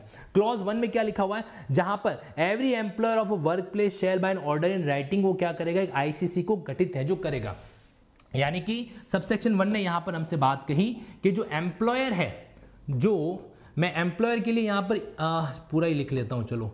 E M P R employer क्या करेगा? आईसीसी को गठित करेगा। नंबर वन प्रोवाइडेड जहाँ पर ऑफ़िस या administrative office of work place अलग अलग जगहों पर है तो वहाँ पर इंटरनल कमेटी कहाँ पर गठित होगी? एडमिनिस्ट्रेटिव यूनिट की जगह पर गठित होगी। जैसे एक कंपनी के अलग अलग ब्रांचेज है तो उसका एडमिनिस्ट्रेटिव ऑफ़िस कहाँ है? वहाँ पर आप आईसीसी को गठित करोगे। दूसरा subsection internal committee shall consist of the following internal committee के अंदर मेंबर कौन कौन होंगे? इसका कॉन्स्टिट्यूशन क्या क्या होगा? वो हमें फाइंड आउट करना है। इंटरनल कंप्लेंट कमेटी का कॉन्स्टिट्यूशन तो इसके अंदर सबसे पहले, एक तो आता है प्रिजाइडिंग ऑफिसर नंबर वन जो कि क्या हो, कौन होगी? एक ऐसी महिला जो सीनियर लेवल की है, उसी ऑर्गेनाइजेशन के अंदर। अगर मान लो एडमिनिस्ट्रेटिव यूनिट के अंदर कोई महिला नहीं है सीनियर लेवल की तो ब्रांच लेवल पर जो सीनियर लेवल की महिला है, उसको बनाएँगे हम। Okay okay? तो प्रिजाइडिंग ऑफिसर क्लॉज बी पे आ जाओ not less than two member from among the social work और लीगल नॉलेज यानी कि दो सदस्य दो सदस्य कहाँ से? या तो सोशल वर्क करने वाले लोग या फिर लीगल नॉलेज रखने वाले लोग। दो सदस्य यहाँ पर आ जाएँगे। ठीक है, उसके बाद सी में one member among non government organisation या ऐसी एसोसिएशन जो सेक्सुअल अरेस्टमेंट के केसेस से डील करती है। ठीक है, यानी कि एक सदस्य जो है, वो कहाँ से आएगा? या तो एनजीओ से या ऐसी एसोसिएशन से जो इस तरह के मामले को डील है, जो करती है। इस तरह के मामलों के अंदर प्रोसीड करती है। तो तीन यहाँ पर। तो क्राइटेरिया क्या बन गया? अगर आप देखोगे तो प्रेसिडेंट दो अन्य सदस्य और एक अन्य सदस्य, है ना? यानी कि one plus two plus one ये इसका कॉन्स्टिट्यूशन यहाँ पर हो गया। तीसरा क्या है? कोई भी मेंबर जो है, वो तीन साल, उसका टेन्योर कितना रहेगा? तो उसका टेन्योर रहेगा तीन साल तक। तीन साल तक वो क्या कर सकता है? काम वहाँ पर करेगा। चौथा क्या पॉइंट लिखा हुआ है? Member appointed from among the NGO या association shall be paid such fee तो ये जो बंदा है ना, ये वाला, कौन? ये दिस पर्सन ये भोलेराम का जीव। इसके बारे में, इसके बारे में बात करता है सेप सेक्शन फोर कि उसको उसको क्या पेमेंट किया जाएगा? उसको, उसके अनुसार पेड किया जाएगा, ये बात सबसेक्शन फोर कहता है। कुछ कंफ्यूजन है ही नहीं। अब आ जाओ सबसेक्शन फाइव पर। अब थोड़ा सा क्या अब इसको समझेंगे ना, अच्छे से समझ में आ जाएगा। है ना? नहीं तो कंप्लेन कर देते मेरी। ही कि सर ये कोई तरीका है? सीधा सबसेक्शन फाइव पढ़ाते हो। Subsection one two three four का क्या होगा? ओके तो आपकी कंप्लेन नहीं आए इसी के लिए। अब देखो, अब यहाँ पर क्या है? इन लोगों को जो हमने अपॉइंट किया है, इनको रिमूव किया जा सकता है, इनको हटाया जा सकता है। हटाने के कौन कौन से ग्राउंड है? जरा उस पर नज़र लगाना, गौर फरमाइएगा। पहला क्या पॉइंट दे रखा है कि अगर वो सेक्शन 16 को कॉन्ट्रीब्यूट करे। ये सेक्शन 16 कहाँ आया था? अभी हम लोगों ने अपील का पॉइंट पढ़ा था, अपील के अंदर जो चौथा पॉइंट था सेक्शन सत्रह। और मैंने कहा था सेक्शन सत्रह के अंदर जो पेनल्टी लगती है, वो पेनल्टी होती है सेक्शन सोलह की नॉन कॉम्प्ले तो वहाँ पर भी उसका लिंक था। सेक्शन सत्रह का सोलह के साथ वहाँ पर भी लिंक था और एक लिंक यहाँ पर भी हो रहा है। ठीक? तो इसके पास चार ग्राउंड है जिसके हिसाब से उसको हटाया जा सकता है। चार ग्राउंड कौन कौन से होंगे? देखो, पहला ग्राउंड है क्लॉज ए जो है, वो है कि उसने अगर सेक्शन 16 की नॉन कॉम्प्लायंस कर दी तो। 16 को अगर उसने फॉलो नहीं किया है तो वहाँ पर। दूसरा क्या ग्राउंड है? अभी 16 पर बात करते हैं। दूसरा क्या ग्राउंड है? बी के अंदर अगर उसको कन्विक्ट कर दिया गया तो किसी भी आरोप के अंदर वहाँ पर कोर्ट ने उसको दोष सिद्धि साबित किया है। तीसरा, अगर किसी डिसिप्लिनरी प्रोसीडिंग के अंदर उसको गिल्टी ठहराया जाता है, किसी भी डिसिप्लिनरी प्रोसीडिंग के अंदर उसको गिल्टी ठहराया जाता है, यानी कि उसको वहाँ पर दोषी बनाया जाता है, या बनाया, या फिर उसने अपनी पोजीशन का मिसयूज किया है। डी में क्या है? उसने अपनी पोजीशन का एब्यूज किया है। अपना जो उसका औदा है ना, उसका उसने क्या किया? एक तरीके से एब्यूज कर दिया। तो इन चार ग्राउंड पे उसको हटाया जा सकता है। अब मज़ेदार बात यह है कि रिमूवल के ये जो ग्राउंड आप पढ़ रहे हो ना, ये ग्राउंड अब हम पढ़ तो रहे हैं किसका? सेक्शन फोर बोले तो इंटरनल कंप्लेन कमेटी का। लेकिन एलसीसी के मेंबर एलसीसी के मेंबर्स पर भी यही ग्राउंड अप्लाई होते हैं।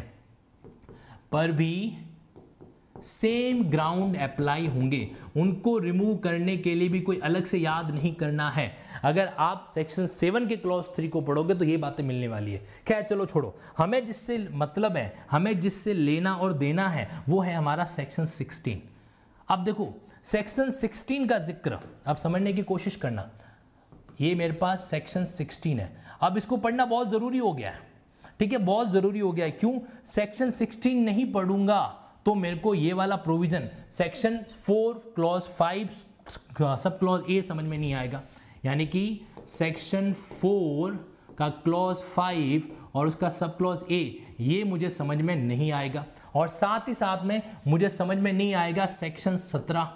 क्या नहीं आएगा? सेक्शन 17 समझ में नहीं आएगा। और अगर मुझे 17 समझ में नहीं आया तो मुझे 18 का कुछ हिस्सा समझ में नहीं आएगा। क्यों नहीं आएगा? क्योंकि 18 में अपील करने का एक ग्राउंड सेक्शन 17 दे रखा है और 17 का ग्राउंड सेक्शन 16 है। अब इतनी सारी चीज़ें मैं आपको क्यों बता रहा हूँ? क्योंकि ये सारे सेक्शन 16 के कुंभ के मेले में बिछड़े हुए भाई बहन हैं। क्या है ये? सेक्शन 16 के इधर उधर बिछड़े वाले भाई बहन हैं। इसलिए इन सबको एक साथ इकट्ठा करके समझना पड़ेगा। This is linking of section 16 हमने बेसिकली पता है क्या क्या? हमने सेक्शन 16 का कॉन्सेप्चुअल लिंकिंग कर दिया है। ठीक? अब आपका मन पता है क्या सोच रहा है? कि सर, इतना हाहाकार हो चुका है सेक्शन 16 का, अब तो सेक्शन 16 पढ़ा दो। और ये तय है कि अब हम सेक्शन 16 नहीं भूलेंगे। और यही तो मैं चाहता था, यही तो मेरी रणनीति थी। अब मैं पढ़ूँगा सेक्शन 16 अब मज़ा आएगा मुझे सेक्शन 16 को पढ़ने का, क्योंकि इतनी सारी हाई डिमांडिंग हमने क्या कर दिया है? सेक्शन 16 को हाई डिमांडिंग के अंदर लेके चले गए। एक छोटी सी चीज़ बताता हूँ, उसके बाद आगे बढ़ेंगे अपन। एक वो अजय देवगन का और कंगना राणावत का एक मूवी आया था once upon a time in Mumbai. हाँ यही नाम था ना? बिल्कुल। उसमें पता है, जब अजय देवगन इम्प्रेस करने जाता है उस कंगना रनावत को तब वो आ, उसके घर के बाहर कोई सब्ज़ी वाला या फ्रूट वाला खड़ा होता है। तब वो उससे क्या क्या लेता है? सेब ले रहा था क्या ले रहा था? कोई फ्रूट ले रहा था। तो उस फ्रूट की कीमत कितनी है? पच्चीस रुपये तो वो कहता है सपोज़ करो कि तेरे पास में एक यही फ्रूट बचा है अब इसकी कितनी कीमत होगी? वो कहता है सौ रुपये सपोज़ कर पूरे मार्केट के अंदर ये आखिरी फ्रूट बचा है अब इसकी कीमत कितनी होगी? वो कहता है हज़ार रुपये तो ये ले हज़ार रुपये पकड़।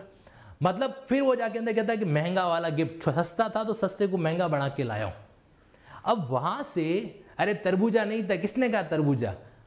क्या मतलब तो कोई तरबूजा देगा क्या? समझ ही नहीं रहे हो। ये कोई शो क्या नाम थी उसकी? अमिताभ बच्चन वाली मूवी थी जहाँ पर वो हेमा मालिनी के लिए तरबूज लेकर जाता है, वो तरबूज उसके सिर पर फोड़ देती है। ये आज का जमाना है। खैर, कहा था मैं, भुला दिया। हाँ तो मैं ये कहना चाह रहा था कि यहाँ पर इस सिचुएशन के अंदर क्या होगा? हम भी इस मूवी से, इस कहानी से कुछ सीख सकते हैं। अगर कोई सेक्शन को समझने में मन इंटरेस्ट क्रिएट नहीं कर रहा है तो हमें अजय देवगन के उस मेथड को यूज़ करना चाहिए। और बाई गॉड ये जो सेक्शन रूपी कंगना राणावत है सेक्शन रूपी कंगना राणावत है हंड्रेड परसेंट इंप्रेस होगी। आप देखो सेक्शन 16 आपको स्माइल करता हुआ दिख रहा होगा। स्माइल आपको दिखेगी नहीं फील करना, ये हंस रहा है कि देखो मेरी कितनी अहमियत हो रही है यहाँ पर। अब आ जाइए जरा सेक्शन 16 पर। अब पढ़ते हैं सेक्शन 16 का कारनामा। देखो क्या लिखा हुआ है? प्रोहिबिशन ऑफ़ पब्लिकेशन और making known contents of complain और इंक्वायरी प्रोसीडिंग इसमें क्या लिखा हुआ है? ये जो इंक्वायरी प्रोसीडिंग है, वो और साथ साथ में जो कंप्लेन है, इसके इंग्रेडिएंट को कहीं पर भी पब्लिश नहीं करना है। इसके इंग्रेडिएंट को कहीं पर भी पब्लिश पब्लिश नहीं करना है। The contents of the complain made under section nine identity and address of the aggrieved woman respondent and witnesses any information relating to the conciliation या inquiry proceeding recommendation of internal committee या local committee as the case may be और action क्या लिया गया है by the employer or the district officer under this provision shall not be published or communicated or made known to the public, press, media in any manner. हालाँकि इस provision का side effect भी है। आप लोगों ने सीआरपीसी में ये तो कई बार पढ़ा है कि विक्टिम की आइडेंटिटी नहीं जानी चाहिए बाहर। लेकिन आप देखो, इसके अंदर तो एम्प्लॉयर की आइडेंटिटी नहीं जानी चाहिए रेस्पोनेंट की आइडेंटिटी नहीं जानी चाहिए विक्टिम की आइडेंटिटी नहीं जानी चाहिए। क्या एक्शन लिया, क्या रिकमेंडेशन दिया, क्या कंप्लेन का कंटेंट था, कुछ भी बाहर नहीं जाना चाहिए। सब पर रेस्ट्रिक्शन लगा हुआ है। लेकिन प्रोविजो वो कहता है that information may be disseminated disseminate का मतलब उसको वितरित करना, फैलाना। Regarding the justice secure to any victim of sexual harassment under this act, without disclosing the name, address, identity or particular lead to identification of agreed woman and witness तो गवाहों को और जो पीड़ित महिला है, उसकी आइडेंटिटी ज़ाहिर नहीं हो तो आप क्या कर सकते हो? जो जस्टिस जो न्याय उसको मिला है, उसके बारे में पब्लिसिटी कर सकते हो। In short section 16 prohibit the publicity या the publication of such things तो सेक्शन 16 क्या है? सेक्शन 16 बेसिकली कई सारी चीज़ों का ध्यान से सुनना। पहली बात, उस महिला का जिसके साथ में गलत हुआ है, उसके बारे में। साथ ही साथ में वो रेस्पोनेंट जिसने गलत किया है, ठीक है। तीसरा, वो विटनेस एक्सेट्रा चौथा, वो कंप्लेन, ठीक है। पांचवा, वो रिकमेंडेशन जो उस कंप्लेन कमिटी ने कहीं कहीं दी है। पाँच उसके बाद में जो एक्शन लिया गया है एम्प्लॉय के द्वारा एक्सेट्रा इनको पब्लिश नहीं करना, ये रेस्ट्रिक्शन वो लगाता है। सेक्शन 16 जो है, वो इस बारे में क्या करता है? रेस्ट्रिक्शन प्रिवेल करवाता है। ठीक है? और इसका एक्सेप्शन क्या है? कि जो फाइनल डिसीज़न है, जो इसका प्रोविजो कहता है जो फाइनल डिसीज़न है, वो आप आउट कर सकते हो, लेकिन उसके अंदर भी आपको ध्यान रखना है कि आप महिला की आइडेंटिटी वगैरह बाहर नहीं लाओगे, महिला और विटनेस की identity this is about section 16 और अगर आप ऐसा नहीं करोगे, अगर आप ऐसा नहीं करोगे तो फिर बेर एक्ट में सेक्शन 17 आ जाएगा, और सेक्शन 17 16 के लिए खतरा उत्पन्न करता है। वेयर एनी पर्सन सेक्शन 70 की लैंग्वेज पढ़ रहा हूँ पेनल्टी फॉर पब्लिकेशन और making known the content of complaint और अगर आपने ऐसा कर दिया तो सर्विस रूल्स के अकॉर्डिंग आपके ऊपर पेनल्टी लगाई जा सकती है। ठीक है? तो यहाँ पर सेक्शन 17 क्या है? सर्विस रूल्स के अकॉर्डिंग पेनल्टी पेनल्टी लगाई जा सकती है, ठीक है? और ये जो पेनल्टी का ऑर्डर होगा, उसकी आप अपील है जो कर सकते हो। अब ये बात यहाँ पर हमारे पास में सेक्शन 18 के फॉर्म के अंदर आ जाएगी। कहा गया सेक्शन 18 जहाँ पर हमने कुछ ग्राउंड लिखे थे। हाँ यस ये सवाल था। किन किन आदेशों के खिलाफ अपील की जा सकती है? तो ये सेक्शन सत्रह। अब सेक्शन सत्रह समझ में नहीं आया तो बताओ। ठीक है? अब जितने भी पॉइंट पढ़े उनको फटाफट अपन रिकॉल करते हैं। देखो कंप्लेन से शुरू करते हैं। सेक्शन नाइन के अंदर उस महिला ने कमेटी के सामने कंप्लेन की ओके सेक्शन टेन के अंदर वो कमेटी कंसिलिएशन सेटलमेंट करवाएगी। सेटलमेंट नहीं हुआ सेक्शन 11 के अंदर क्या मामला बैठेगा? इंक्वायरी का मामला बैठेगा। इंक्वायरी कंडक्ट होगी। उसके बाद में जब तक इंक्वायरी चलती है तो पेंडिंग इंक्वायरी कुछ ऑर्डर हो सकते हैं सेक्शन 12 के तहत। सेक्शन 12 में वहाँ पर कुछ ऑर्डर वगैरह किए जा सकते हैं। और फिर उसके अकॉर्डिंग सेक्शन 13 के अंदर फाइनल कंक्लूजन निकलेगा। या तो गिल्टी या नॉट गिल्टी यानी कि जो एलिगेशन है वो प्रूव हुए या नहीं हुए। अगर साबित हो गई तो सेक्शन तेरह के उसके पर्टिकुलर सब सेक्शन थ्री के अंदर क्लॉज वन और क्लॉज टू सर्विस मिसकंडक्ट का मामला या फिर सैलरी डिडक्शन का आदेश दिया जाएगा। और अगर वो साबित नहीं होते हैं तो उस केस में क्या होगा? वहाँ पर कोई एक्शन नहीं लिया जाएगा।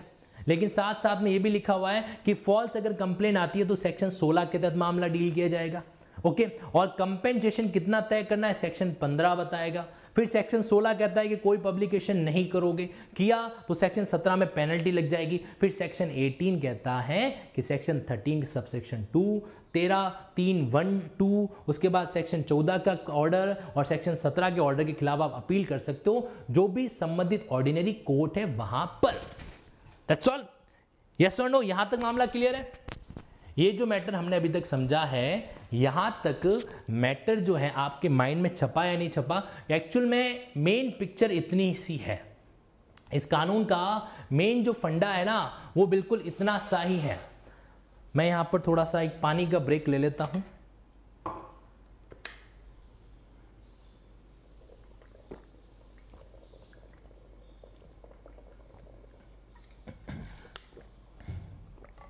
यस ओके गाड़ी में फ्यूल भरवा दिया है। अभी अपन कुछ किलोमीटर्स और चलेंगे। यहाँ तक तो सीन क्लियर हो गया। अब समझ अब अब बहुत ही गिने चुने सेक्शन बचे। हैं और वो बहुत इतनी आसान सी बात करते हैं कि बस अब क्या बताऊँ मैं आपको लेकिन फिर भी बता देता हूँ। वरना को कहोगे बताया नहीं। चलिए देखो।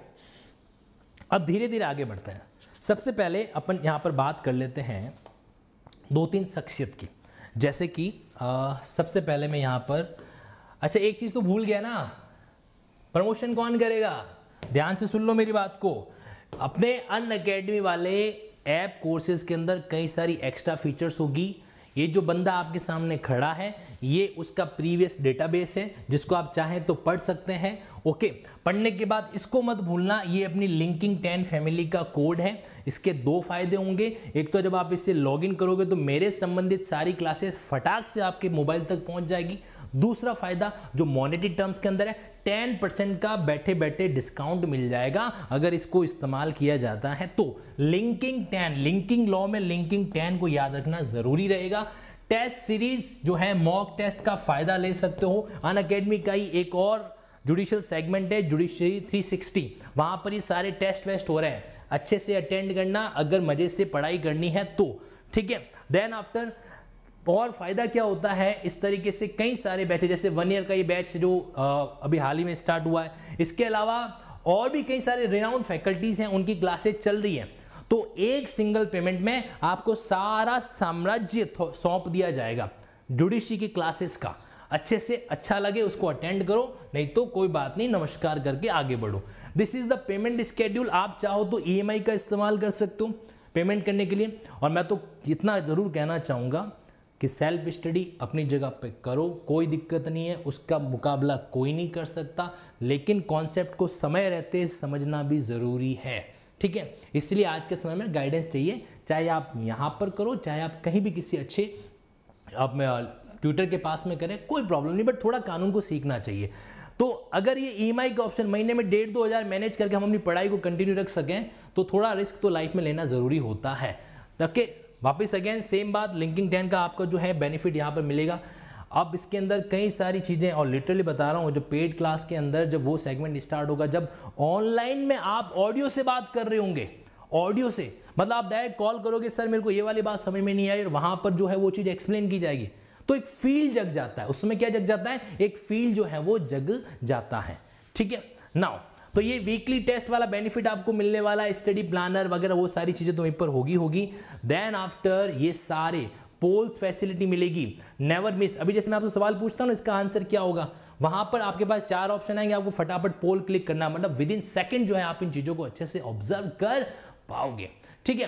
तो गेट नोटिफाइड वगैरह, और साथ ही साथ में इतना ही आप लोगों से कहूँगा stay tune with this YouTube channel अगर आपने अभी इस चैनल को सब्सक्राइब नहीं कर रखा है तो डोंट माइंड बट खुद का नुकसान कराओगे। इसलिए कराओगे कि कुछ चीज़ें वाकई में एज ए स्टूडेंट सोचा जाए तो बहुत फ़ायदे की होती। जैसे कि आज का लेक्चर है। एग्ज़ाम पॉइंट ऑफ़ व्यू से कवर करेंगे दैट्स ऑल और जो अपने लिंकिंग लॉस के चैनल्स है, वहाँ से भी आप कनेक्ट हो सकते हैं।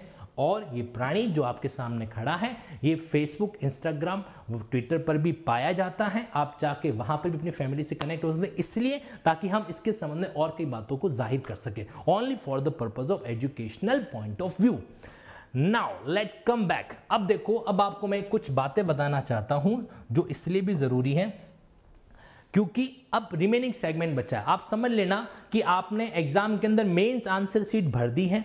अब एक्स्ट्रा मार्क्स लाने के लिए हम सप्लीमेंट्री आंसर सीट जो है वो भरेंगे। क्या करेंगे? सप्लीमेंट्री आंसर सीट जो है, उसको भरने का काम करेंगे। ठीक है? सर, मेरा कमेंट काहे नहीं पढ़ रहे हो? अरे डॉली जी, आप कमेंट कर क्या रहे हो? वो तो बताओ। या फिर एक काम करना, ये सेशन खत्म हो जाए, उसके बाद में आज पाँच दस मिनट एक्स्ट्रा निकाल लेंगे अपन। इस पर गपशप करेंगे। कमेंट्स पर गपशप बोलो तो काम की गपशप करेंगे। तो यहाँ पर आ जाते हैं अपन। देखो अब मैं इस एक्ट के अंदर आने वाले कुछ कैरेक्टर के बारे में आपको इंट्रोड्यूस करता हूँ। ठीक है? कुछ कैरेक्टर जो हैं, उनके बारे में अपन बातचीत करते हैं और उस पॉइंट ऑफ़ व्यू से समझने की कोशिश करते हैं। सबसे पहला कैरेक्टर जो है वो आपको ध्यान में रखना है। अब देखो, अब आपको एग्रीड पर महिला से बाहर आ जाओ रेस्पोनेंट से बाहर आ जाओ कमिटी से बाहर आ जाओ। तीनों को छोड़ के अब चौथे पॉइंट पर अपन बात करते हैं। ठीक है? नाउ नेक्स्ट पॉइंट पे आ जाते हैं। पहला जो बिंदु है यहाँ पर, वो क्या होगा इस सिचुएशन के अंदर? वो सिचुएशन है यहाँ पर एम्प्लॉयर की। क्या है? एम्प्लॉयर वाला सिचुएशन है जो हो जाएगा नियोक्ता के संबंध में। दूसरा जो आपके सामने बंदा आएगा, वो आएगा डिस्ट्रिक्ट ऑफिसर डिस्ट्रिक्ट ऑफिसर हालाँकि हमने अभी पढ़ लिया है कि डिस्ट्रिक्ट ऑफिसर कौन होगा? जिला कलेक्टर वगैरह को डिस्ट्रिक्ट ऑफिसर बनाया जाता है और उसकी ड्यूटीज़ क्या होगी? वो सेक्शन ट्वेंटी के अंदर बात करती है। ठीक है? और तीसरा जो सेगमेंट है वो है अप्रोप्रिएट गवर्नमेंट अब देखो इन तीन कैरेक्टर को आपने ऑब्ज़र्व कर लिया ना अप्रोप्रिएट गवर्नमेंट तो मान के चलो आपका काम काफ़ी हद तक आसान है जो हो जाएगा. कैसे? एम्प्लॉयर ने जो चीज़ की एम्प्लॉयर ने मान लीजिए कोई भी आ, एक तरीके से आ, उसका जो रोल था वो प्ले नहीं किया तो उस सिचुएशन में क्या होगा? उस सिचुएशन में कुछ ड्यूटीज़ वगैरह जो है उस पर भी इम्पोज की जा सकती है. कुछ ड्यूटीज़ वगैरह जो है उसके ऊपर लाइबिलिटी के रूप में अपेयर हो सकती है. अब जब आप एम्प्लॉयर का प्रोविज़न सेक्शन 26 के साथ कनेक्ट करोगे। किसके साथ में? सेक्शन 26 के साथ में। अब यहाँ पर आ जाते हैं। सेक्शन 2626 आइए जरा पढ़ते हैं इसको। इसमें क्या लिखा हुआ है? कि जो एम्प्लॉयर है, अगर उसने अपनी ड्यूटी फुलफिल नहीं की सेक्शन 26 की लैंग्वेज देखना where the employer fail to अगर उसने आईसीसी क्योंकि आईसीसी को कंस्टिट्यूट करना उसकी ज़िम्मेदारी थी तो यहाँ पर एम्प्लॉयर का कनेक्शन सेक्शन फोर वन के साथ डायरेक्टली जुड़ जाता है।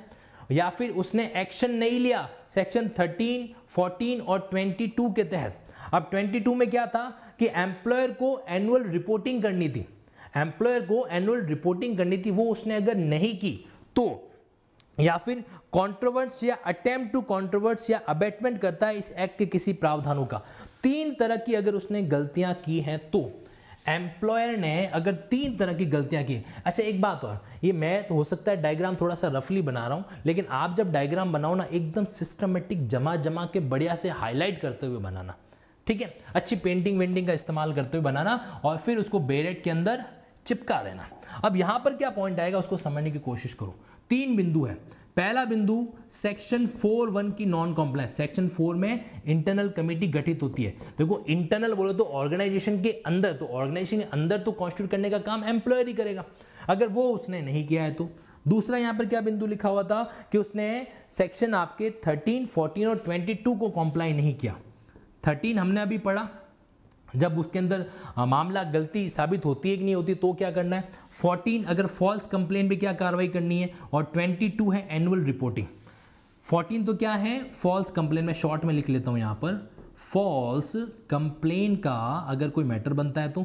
13 के अंदर एलिगेशन अगर साबित होते हैं तो और नहीं साबित होते हैं तो क्या करना है? 22 के अंदर आएगा आपके रिपोर्ट देना।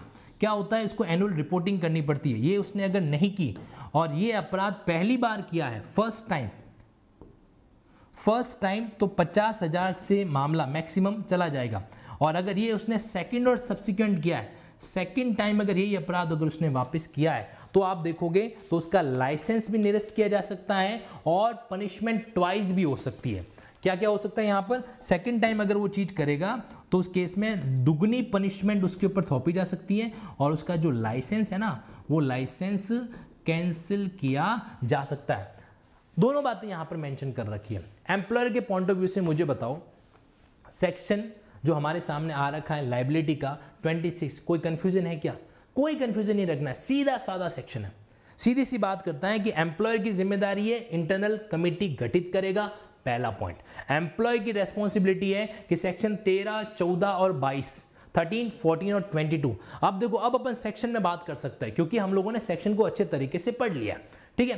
तो 13, 14 और 22 की कॉम्प्लायंस नहीं की तो और या फिर तीसरा कोई अदर नॉन कॉम्प्लाइंस एक्ट को उसने अगर फॉलो नहीं करवाया तो इसमें एक और जोड़ दो अगर उसने इस एक्ट को फॉलो नहीं करवाया तो पहला दूसरा और तीसरा। अदर नॉन कॉम्प्लायंस अगर अन्य किसी तरह का उसने नॉन कॉम्प्लायंस किया है तो उस सिचुएशन के अंदर भी उसके ऊपर पेनल्टी लगाई जा सकती। कितनी पेनल्टी पचास हज़ार। पहली बार करेगा तो। सेकंड टाइम करेगा तो दुगनी हो सकती है और उसका लाइसेंस कैंसिल किया जा सकता है। लेकिन एक पॉइंट यहाँ पर ध्यान रखना, जब वो सेकंड टाइम भी कर रहा है ना तो higher punishment is prescribe under any other law for the offence for with accuse is being prosecuted the court shall take due cognizance अब इस पैराग्राफ को समझना। अगर उसने जो अपराध किया है, वो किसी और कानून के अंदर भी मान लो पनिशेबल हो, और वहाँ पर भी किसी तरह का पनिशमेंट का प्रावधान आ रहा है पेनल्टी का प्रावधान आ रहा है तो कोर्ट उसका डिसीज़न लेते समय, कुछ कार्रवाई करते समय उस पॉइंट को भी ध्यान में रखेगा। देखो, वाजिब सी बात है। नेगोशियबल इंस्ट्रूमेंट एक्ट है सपोज़ करो इंट्रीम कंपेंसेशन का ऑर्डर हुआ है तो सीआरपीसी के 357 के अंदर कोई कंपेंसेशन बनता है तो उसको ध्यान में रखा जाएगा ना। वही प्रिंसिपल वही कॉन्सेप्ट यहाँ पर भी लागू है, जो किया गया तो ये रहा कॉन्सेप्ट किसका? एम्प्लॉयर का। एम्प्लॉयर के बारे में आपको 26 विशेष रूप से ध्यान में रखना है। ओके अगर एक फॉर्मूला लिखूं मैं यहाँ पर। अगर एम्प्लॉयर का फॉर्मूला लिखा जाए तो आपको कौन कौन सी बातें ध्यान से समझनी है? तो देखो, एक तो आपको सेक्शन फोर अच्छे से ध्यान में रखना है। ठीक है? सेक्शन थर्टीन ध्यान रखना है। फोर्टीन ध्यान रखना है। ट्वेंटी टू ध्यान रखना है। ट्वेंटी सिक्स ध्यान रखना है। ठीक है? ये सेक्शन अगर आपने मतलब इस एक की वर्ड से आप ये वाले सेक्शन कवर कर सकते हो। अब थोड़ा सा आइए मैं आपको कंफ्यूज करता हूँ। मैं नहीं कर रहा हूँ बेरेक ने आपको कंफ्यूज कर रखा है। पता है? नहीं पता होगा, सुन लो। जब हम सेक्शन टू में जाते हैं, कहाँ पर जाएँगे? सेक्शन टू के पास में। तो सेक्शन टू के अंदर भी एक पर्टिकुलर क्लॉज आता है जो एम्प्लॉयर को डिफाइन करने का काम करता है। क्या करता है? एम्प्लॉयर को परिभाषित करने का काम है जो करता है। और उसकी जो परिभाषा है, बहुत लंबी चौड़ी दे रखी है। अगर मैं आपसे एक सवाल पूछूँ तो मुझे बताओ, ये जो 16 डेफिनेशन है, उनमें से सबसे बड़ी डेफिनेशन कौन सी है? फटाफट से आंसर दो। सेक्शन टू के अंदर जो 16 अलग अलग परिभाषाएँ दे रखी हैं, सबसे लेंथी सबसे बड़ी परिभाषा कौन सी है? बताइए, फटाफट आंसर आना चाहिए, मज़ा आए तभी तो। क्या मेरी आवाज़ आप लोगों तक पहुँच रही है? तो आपके कमेंट्स मुझे काहे नहीं दिख रहे? हम्म yes might be there are certain अभी तो धड़ाम से गिर जाते, बच गए, कोई बात नहीं। बचाने वाले के हाथ जो हैं, वो गिराने वाले से कहीं ज़्यादा लंबे होते हैं, ऐसा सुना था। अब ये माइक का वायर जो है, वो मुझे ज़रूर गिरा के बैठता बट डोंट वरी हाँ एम्प्लॉयर की सबसे बड़ी जो परिभाषा है वो किसकी है? एम्प्लॉयर की दे रखी है। ओके अब देखो, यहाँ पर क्या आ जाएगा? इसके अंदर इसने लंबी चौड़ी परिभाषा दे रखी है, उसको आसान कर लेते हैं। आ जाओ। देखो, इसके अंदर clause one clause two clause three और क्लॉज फोर चार क्लॉज दे रखे हैं ना? सेक्शन टू का जो ये एम वाला पॉइंट है सेक्शन टू का जो ये क्लॉज एम है, इसके अंदर सेक्शन टू का क्लॉज एम वाला जो पॉइंट है, सबसे पहला पॉइंट याद रख लेना सबसे पहला पॉइंट है एचओडी लिख लो इसके आगे हेड ऑफ़ डिपार्टमेंट मतलब उस डिपार्टमेंट का जो हेड होगा ना, वो बेसिकली क्या है? एक तरीके से उसका एम्प्लॉयर है, जो कहा जाएगा। पहली बात। दूसरा पॉइंट सेकंड पॉइंट में, जो पर्सन रेस्पॉन्सिबल है मैनेजमेंट करने के लिए, यानी कि मैनेजर मैनेजर ही तो होता है रेस्पॉन्सिबल मैनेजमेंट करने के लिए। तो जो पर्सन मैनेजमेंट करने के लिए रेस्पॉन्सिबल है वही क्या होगा? वहाँ का एम्प्लॉयर है जो कहलाएगा।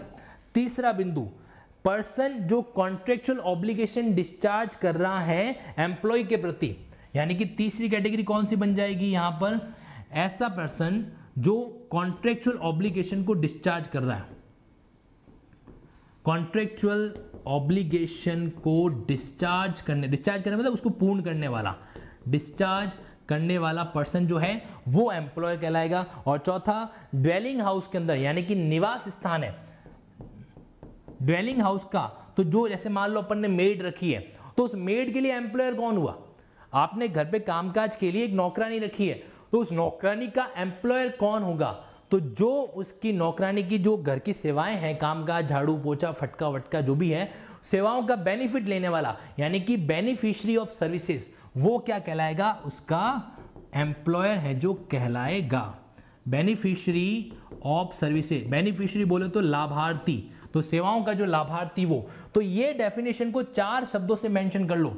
एच मैनेजर उसके बाद कॉन्ट्रेक्चुअल ऑब्लिगेशन डिस्चार्ज करने वाला पर्सन और चौथा बेनिफिशियरी ऑफ़ सर्विसेज़ इन सभी को सेक्शन टू एम के तहत एम्प्लॉयर यानी कि नियोजक कह दीजिए, नियोक्ता कह दीजिए, कहा जाएगा। ओके तो ये बड़ी डेफिनेशन को थोड़ा सा आसान कर लो अपने तरीके से। देखो कीवर्ड जो है ना, ये कॉन्सेप्ट हमारे काम को आसान बना देता है। कीवर्ड का जो कॉन्सेप्ट होता है, वो हमारी वर्किंग को थोड़ा इजी गोइंग वे के अंदर डिसाइड है, जो करवा देता है। ठीक है? अब आगे बढ़ेंगे यहाँ पर नेक्स्ट पॉइंट पे। ये तो था पहला पॉइंट एम्प्लॉयर के संबंध में। अब दूसरी बात करते हैं। समझ नहीं आया टू जी। अरे कृष्टि समझो, कोई बात लंबी डेफिनेशन है। लंबी डेफिनेशन है तो हमें उसको याद रखने के लिए उसको शॉर्ट में करना होता है। तो यहाँ पूछा है कि एम्प्लॉयर किसको कहेंगे? तो चार लोगों को एम्प्लॉयर कहा जाएगा। पहला डिपार्टमेंट का हेड उसको एम्प्लॉयर समझा जाएगा। पहली बात, ठीक है? दूसरी बात, यहाँ पर इस सिचुएशन के अंदर उस ऑर्गेनाइजेशन में जो मैनेजमेंट करने के लिए रेस्पॉन्सिबल पर्सन है, यानी कि मैनेजर उसको एम्प्लॉयर समझा जा सकता है। अगर पहले वाला केस कवर नहीं हो रहा है तो। तीसरी बात यहाँ पर, जो व्यक्ति एम्प्लॉय के प्रति अपनी कॉन्ट्रेक्चुअल ऑब्लिगेशन डिस्चार्ज करता है, यानी कि पेमेंट पे करता है, उसको एम्प्लॉयर माना जाएगा। और चौथा, उस जो मेड के केस में डोमेस्टिक प्लेस के केस में, जो बेनिफिशरी जो बेनिफिट लेते हैं सेवाओं का, उसको क्या माना जाएगा? उसको जो है एक तरीके से एक कंसिडर्ड है, जो किया जाएगा। क्या? एम्प्लॉयर सर टू एम लिखा है इंस्टीट्यूट ऑफ़ ओहो वेरी गुड थैंक यू किसने कहा ये करेक्शन राजेश जी, बहुत बढ़िया। हाँ ये कहिए ना, मैं सोच रहा हूँ, समझ में कहा ही नहीं आया। टू जी सही कर दो, इसको सही कर दो भाई। ये क्या है कि जो तार ने उलझाया था ना तो हम उस भावनाओं में खो गए थे। और इंसान जब भावनाओं में खो जाता है ना तो मामला गड़बड़ हो जाता है। इसलिए कहते हैं कंट्रोल में रखो। किसको? भावनाओं को और किसको रखोगे? ठीक है? तो ये आपका एम्प्लॉय का टू जी के अंदर अच्छा तभी मामला मैं सोच रहा हूँ यार इसमें समझाने लायक क्या चीज़ नहीं थी जो आपको समझ में आई नहीं। चलो, टू जी कर दो इसको, सब कुछ ठीक हो जाएगा। वेरी गुड अब आगे बढ़ते हैं यहाँ पर। ये तो सीन हो गया हमारा टू एम का। बेसिकली बात क्या कर रहे थे? मैं आपके सामने कुछ कैरेक्टर के बारे में बात कर रहा था, है ना? तो एक कैरेक्टर को हमने अभी कंप्लीट किया है एम्प्लॉयर अब आते हैं अपन दूसरे कैरेक्टर पर। अभी हम लोगों ने सेक्शन टू फाइव पढ़ा। हंस रहे हैं, देखो कितने बदमाश हैं। मतलब मैं गिरने वाला था और यहाँ पर हंस रहे हो, है ना? ठंडे पानी गिराने का श्राप दे दूँगा, ध्यान रखना। क्या चलिए। तो अब दूसरा कैरेक्टर आता है हमारे पास में डिस्ट्रिक्ट ऑफिसर का। जिला आपके जो अधिकारी है, उसके बारे में बात करते हैं। सेक्शन फाइव के तहत हमने ये पढ़ लिया कि डिस्ट्रिक्ट ऑफिसर को हर ज़िले के लिए अपॉइंट किया जाएगा। ओके? और उसका ड्यूटीज़ क्या क्या होगा? तो उसकी ड्यूटीज़ आपको सेक्शन ट्वेंटी के अंदर मिलेगी। जरा निकालो सेक्शन ट्वेंटी एक बार। एक बार सेक्शन टू ज़ीरो ट्वेंटी पर आ जाओ और अब यहाँ पर इस चीज़ को समझने की कोशिश करना है कि ड्यूटीज़ क्या क्या है। देखो, पहला एक्ट है मॉनिटर करना। कोई भी जो टाइमली सबमिशन है रिपोर्टिंग रिपोर्टिंग हो रही कि नहीं हो रही, उसको मॉनिटर करना, ठीक है? और दूसरा क्या आ रहा है यहाँ पर? ऐसे मेजर्स अडॉप्ट करना जो कि ज़रूरी हो for engaging non government organisation of creation of awareness etcetera यानी कि दो बातें यहाँ पर। इसकी दो ड्यूटी आ रही है। पहली ड्यूटी क्या आ रही है सेक्शन ट्वेंटी के तहत? कि इसको है जो मॉनिटर करना है। किसको? जो कमेटी की रिपोर्टिंग है उसको। कि कमेटी जो है टाइमली रिपोर्ट दे रही है या नहीं दे रही है। अब देखो ये जो शब्द है ना रिपोर्टिंग इसके ऊपर मैं आपको पूरी डिटेल बताता हूँ। रिपोर्ट का मामला फंडा एक्चुअल में है क्या? देखिए ये जो कमेटी होती है, चाहे वो आपके लोकल कमेटी हो या फिर आपके इंटरनल कमेटी हो, इन सबको क्या करना पड़ता है? इन सबको एक स्टेज पर आके एनुअल रिपोर्टिंग एनुअल वार्षिक रिपोर्टिंग होगी, ध्यान रखना। साल में एक बार जो है रिपोर्टिंग है जो करनी पड़ती है। अब रिपोर्टिंग कौन कौन करता है कब कब करता है, इसके बारे में दो सेक्शन डील करता है। पहले उसके बारे में चर्चा कर लेते हैं। चलिए, यहाँ पर एक शब्द लिख रहा हूँ मैं रिपोर्टिंग पढ़ते समय, एक सेक्शन पढ़ते समय अगर कोई शब्द आता है तो उस शब्द को जब तक क्लियर नहीं कर लो, पुराने वाला सेक्शन हम समझ नहीं सकते। इसी आधार पर, इसी बेसिस पर, उस टॉपिक को बीच में छोड़कर अभी मैं आपको क्या बता रहा हूँ रिपोर्टिंग का फंडा है जो समझा रहा हूँ। रिपोर्टिंग जो है हमारे इस बेरेक्ट में दो जगह पर होती है, ठीक है? दो जगह कौन कौन सी है? एक जगह तो है आपकी सेक्शन 21 और दूसरी जगह है आपकी यहाँ पर सेक्शन 22 दो जगहें हैं जहाँ पर क्या है? रिपोर्टिंग की बात आ रही है। एक चीज़ ध्यान रखना, इसमें जो भी रिपोर्ट दी जाती है, वो एनुअली दी जाती है। वार्षिक रूप से दी जाएगी। 21 के अंदर दो तरह का क्लॉज बनेगा। फिर से समझ लीजिए और हो सके तो अपने बेरेट के डायग्राम में चिपका भी देना। 21 का क्लॉज वन और 21 का क्लॉज टू 21 के क्लॉज वन के तहत क्या होता है? जो भी इंटरनल कंप्लेन कमिटी है ध्यान से सुनना इस पॉइंट को। जो भी इंटरनल कंप्लेन कमेटी है, उसको और जो लोकल कंप्लेन कमेटी है, उसको उसको रिपोर्ट देनी होगी। किसको रिपोर्ट देनी होगी? उसको रिपोर्ट देनी होगी डीओ यानी कि डिस्ट्रिक्ट ऑफिसर ये आपके 21 का पहला सबसेक्शन दूसरा सबसेक्शन ये है कि जो डीओ है, उसको स्टेट गवर्नमेंट को रिपोर्ट देनी पड़ेगी। यानी कि जो आपका डिस्ट्रिक्ट ऑफिसर है, उसको राज्य सरकार को सूचित करना पड़ेगा कि साल भर के अंदर क्या क्या मामले थे, क्या हुआ, क्या नहीं हुआ। दो तरह की रिपोर्टिंग क्लियर है। कमेटी को रिपोर्ट करना होता है डिस्ट्रिक्ट ऑफिसर को। डिस्ट्रिक्ट ऑफिसर रिपोर्ट करेगा स्टेट गवर्नमेंट को। ओके अब वापस सेक्शन 22 में क्या है? यहाँ पर जो एम्प्लॉयर्स होते हैं ना सेक्शन 22 के तहत जो भी एम्प्लॉयर एम्प्लॉयर वही जिसकी परिभाषा आप टू जी के अंदर पढ़ के आए हो। एम्प्लॉयर को क्या करना होता है? एम्प्लॉयर जो होता है, वो देता है रिपोर्टिंग किसको? डिस्ट्रिक्ट ऑफिसर को। ये तीन तरह की रिपोर्टिंग आपके इस एक्ट में है। रिपोर्ट देने वाला जो फंडा है, तीन तरह की रिपोर्टिंग आपके एक्ट में है। समझ लो 21 और 22 ये दो सेक्शन भी साथ साथ में कवर हो गए 21 और 22 में यही बात लिखी हुई है, उनको मैं अलग से नहीं पढ़ूँगा। सिंपल सी बात लिखी है। अब इस पॉइंट पर आप वापस आ जाओ। किस पे? सेक्शन 20 पे। तो सेक्शन 20 क्या कह रहा है? मॉनिटर करना रिपोर्टिंग को। तो रिपोर्टिंग कौन सी आ गई आपके? 21 और 22 वाली। तो ये आपस में लिंक हो गया। यानी कि सेक्शन 20 का क्लॉज सेक्शन 21 और 22 के साथ लिंक करना ज़रूरी है। ओके नाउ अब देखो, और क्या क्या ड्यूटीज़ है इसकी? दूसरा लिखा हुआ है अवेयरनेस के मेजर फैलाना। मतलब इस एक्ट में लिखी बातों को एक तरीके से एनजीओ के माध्यम से आगे सर्कुलेट करना। अवेयरनेस फैलाना। ठीक है? वो भी इसके तहत है जो आ जाएगा। अवेयरनेस वो काम जो हम में से कई कैंडिडेट नहीं करते, है ना? अब ये वाला लेक्चर था, ईमानदारी से बताओ कितने कैंडिडेट्स ने, ईमानदारी से बताना मुझे, कितने कैंडिडेट्स ने अपने आसपास के ग्रुप में शेयर किया? कितने कैंडिडेट्स ने क्या बताओ कमेंट बॉक्स में रिप्लाई करो। किसी ने किया होगा तो रिप्लाई करेंगे ना। हाँ? सर, मैं खुद पढ़ूँगा। मेरे को आर के अंदर क्वालिफाई करना है, किसी और को शेयर किया, उसने पढ़ा, उस, वो आगे बढ़ गया तो ये सोचने वाली बात है ना?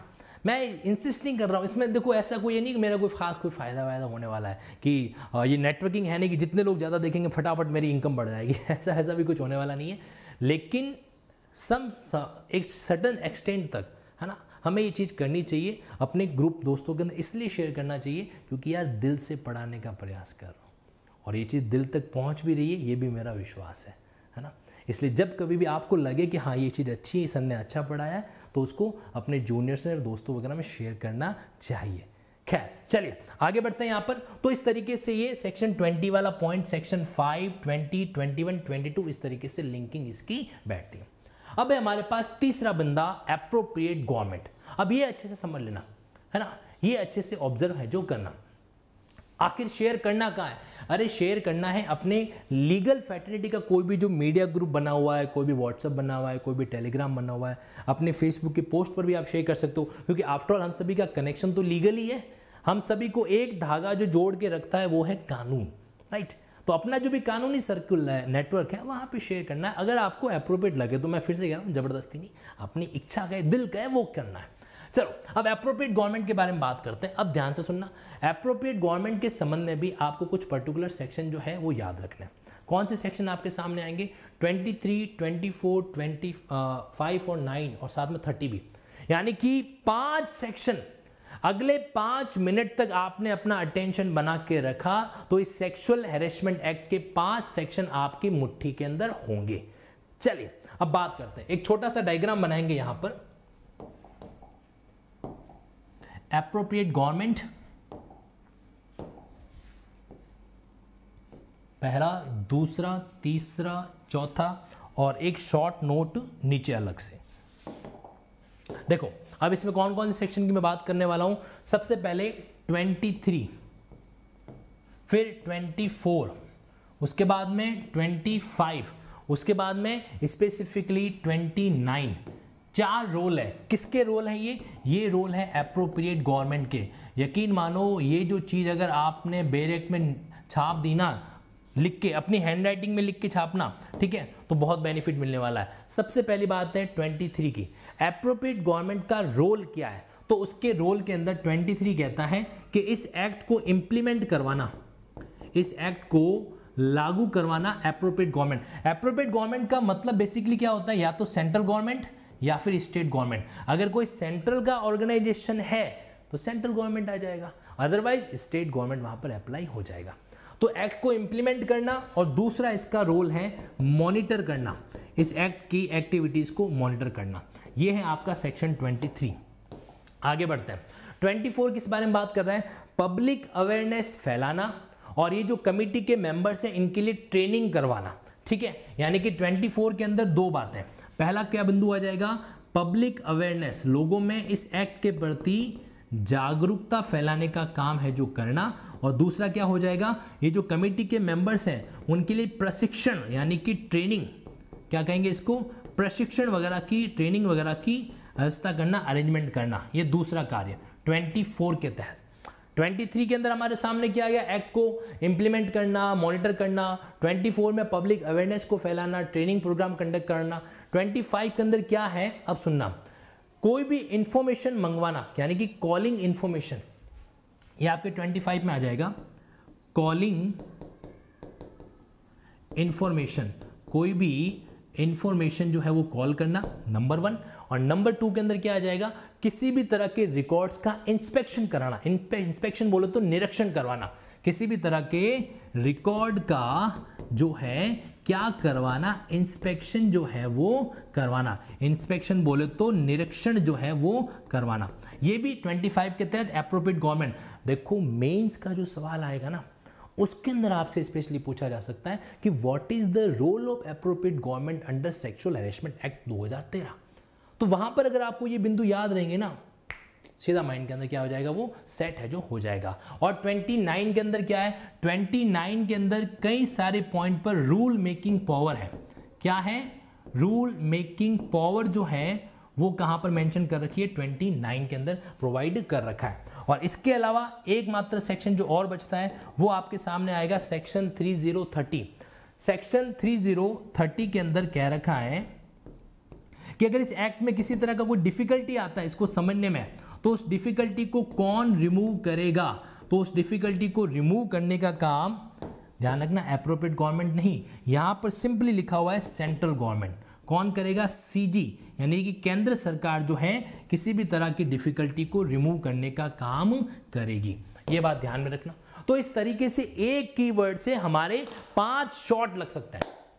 एक बॉलिंग किया मैच में हिट किया, सीधा सिक्स चला गया। तो ये उसी तरह की बॉल है। आप पाँच रन डायरेक्टली ले सकते हो, यानी कि पाँच सेक्शन को सीधे तौर पर कवर है जो किया जा सकता है। ओके तो अब मेनली क्या बात है? मेनली बात इतनी सी है कि हमें जैसे इस वाले पॉइंट पर ये जो बिंदु हमारे सामने आया अप्रोप्रिएट गवर्नमेंट का तो यहाँ पर हमें सेक्शन 23, 24, 25, 29 और 30 इन पाँच सेक्शन को इस तरह से कवर कर लेना चाहिए। तो देखो पाँच छ सात उसके बाद में आठ नौ दस ग्यारह। तो कहने का मतलब तकरीबन तकरीबन दस, ग्यारह सेक्शन जो है ना, इस एक डायग्राम से आप क्लेरिफाई कर सकते हो। और ये बेनिफिट होता है डायग्रामेटिक रिप्रेजेंटेशन का। जब किसी चीज़ को हम इस तरीके से अलग तरह की प्रेजेंटेशन में लेके जाते हैं ना तो ये बेनिफिट आपको वहाँ पर दिखेगा। ओके तो ये डायग्राम बनाओगे हाँ या ना, किसी भी तरह का डाउट है तो पूछते हुए चलो।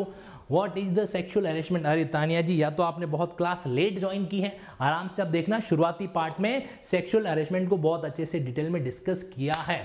ठीक है? नाउ अब मेन जो चीज़ हमारे सामने आएगी, वो कौन सा पॉइंट आएगा? वो ये है कि इनके अलावा अब बचता क्या क्या है? तो अब अपन उन सेक्शंस पे बात कर लेते हैं जो हमारे लिए अभी पेंडिंग रहे देखो, अब यहाँ पर डेफिनेशन वाले पार्ट में आपको कौन कौन सी चीज़ें अलग से और देखनी चाहिए, उस पर मैं थोड़ा सा ज़िक्र कर लेता हूँ। अब निकालो आप सेक्शन टू अच्छा एक चीज़ और है, वो भी हम क्या कर सकते हैं hand to hand to hand कर सकते हैं। इस एक्ट के बारे में आपको कुछ बेसिक बात बताऊँ मैं।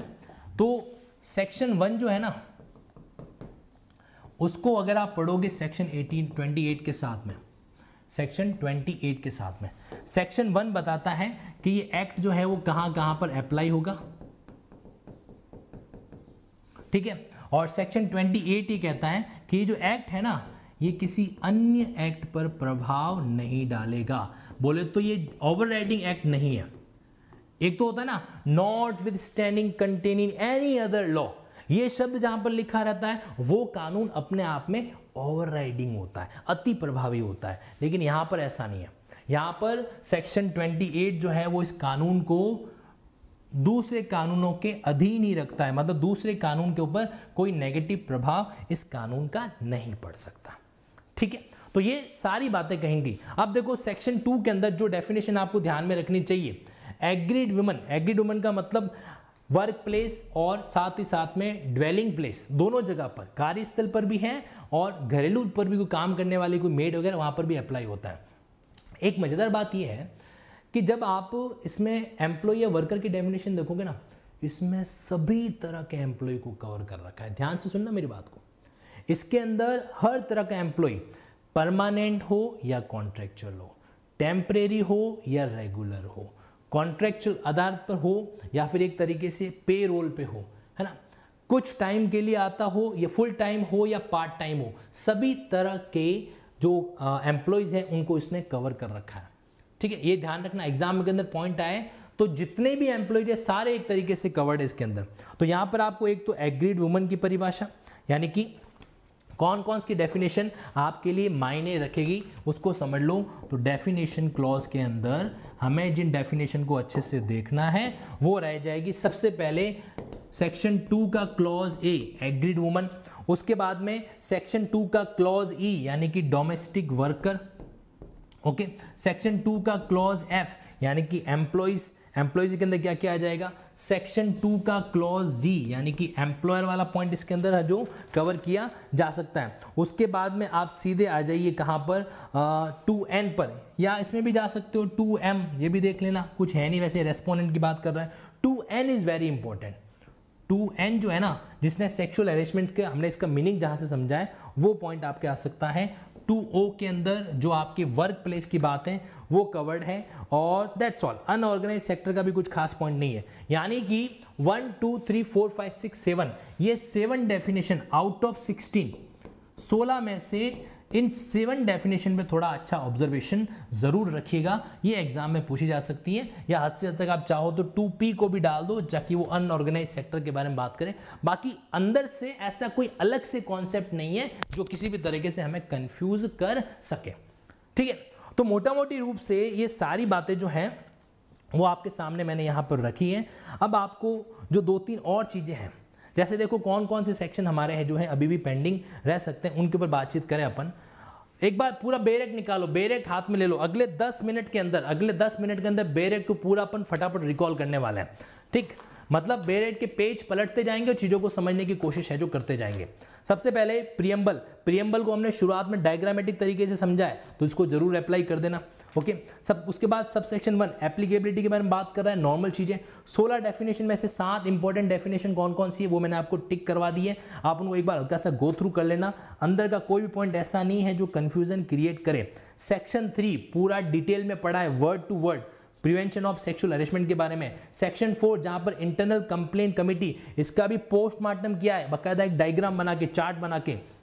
सेक्शन फाइव में डिस्ट्रिक्ट ऑफिसर के अपॉइंटमेंट की बात डिस्कस की जा चुकी है। सेक्शन सिक्स के अंदर लोकल कंप्लेंट कमेटी का कॉन्स्टिट्यूट करना ओके सेक्शन सेवन पढ़ा नहीं है, लेकिन मैं आपको इतना बता देता हूँ, जिस तरीके से सेक्शन फोर के मेंबर्स के बारे में हमने पढ़ा है, वैसे कि वैसे सेक्शन सेवन है। एक चेयरपर्सन होगा, एक मेंबर होगा जो थोड़ा सा किसी न किसी एनजीओ वगैरह से बिलोंग करेगा, एक मेंबर जो होगा वो आपके नॉमिनेट किया जाएगा किसी न किसी संस्था वगैरह से, ब्लॉक, तालुका से ओके और साथ साथ में एक्स ऑफिशियो मेंबर होगा। कौन? जो महिला वर्क डिपार्टमेंट का अधिकारी है यहाँ की रिस्पॉन्सिबिलिटी तीन साल के लिए इनका अपॉइंटमेंट होता है। रिमूवल कब हो सकता है, ये भी हम डिस्कस कर चुके हैं। तो सेक्शन सेवन के अंदर उनका रिमूवल कौन कौन मेंबर्स होंगे वगैरह, उसके बारे में बातचीत आपको मिलेगी।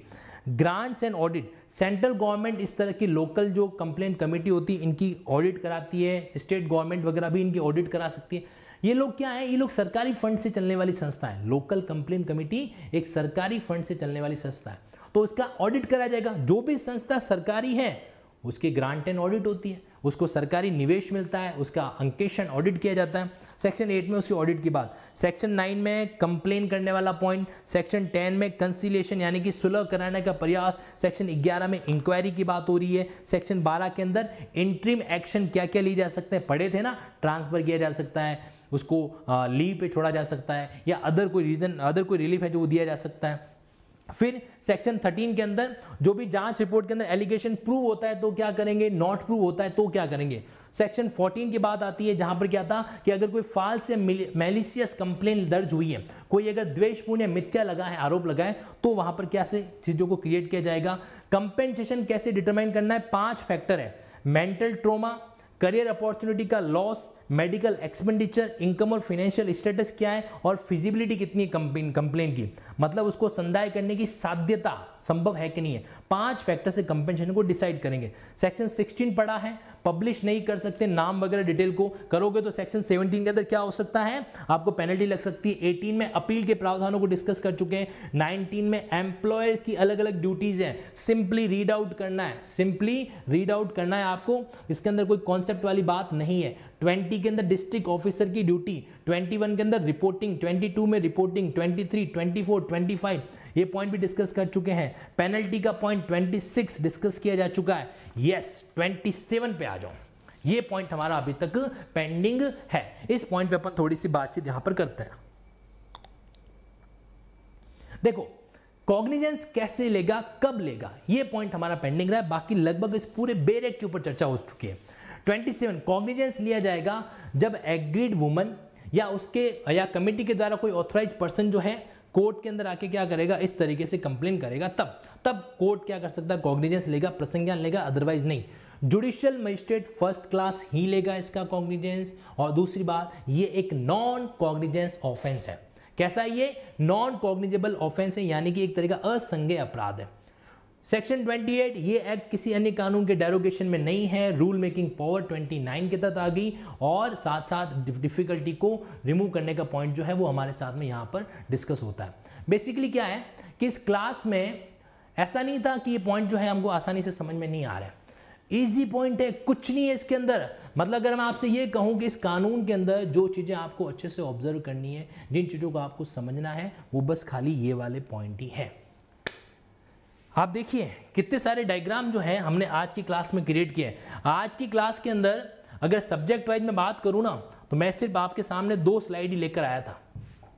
एक तो ये भवरी देवी वाले केस की पूरे की पूरी क्लास मैं रिवाइज करने वाला हूँ। पूरा अटेंशन रखना है अच्छे से। ठीक है? भवरी देवी के काम से, विशाखा की गाइडलाइन के केस से हमने मामला स्टार्ट किया था। अगले दस मिनट तक नज़र हटानी नहीं है, दुर्घटना घटवानी नहीं है।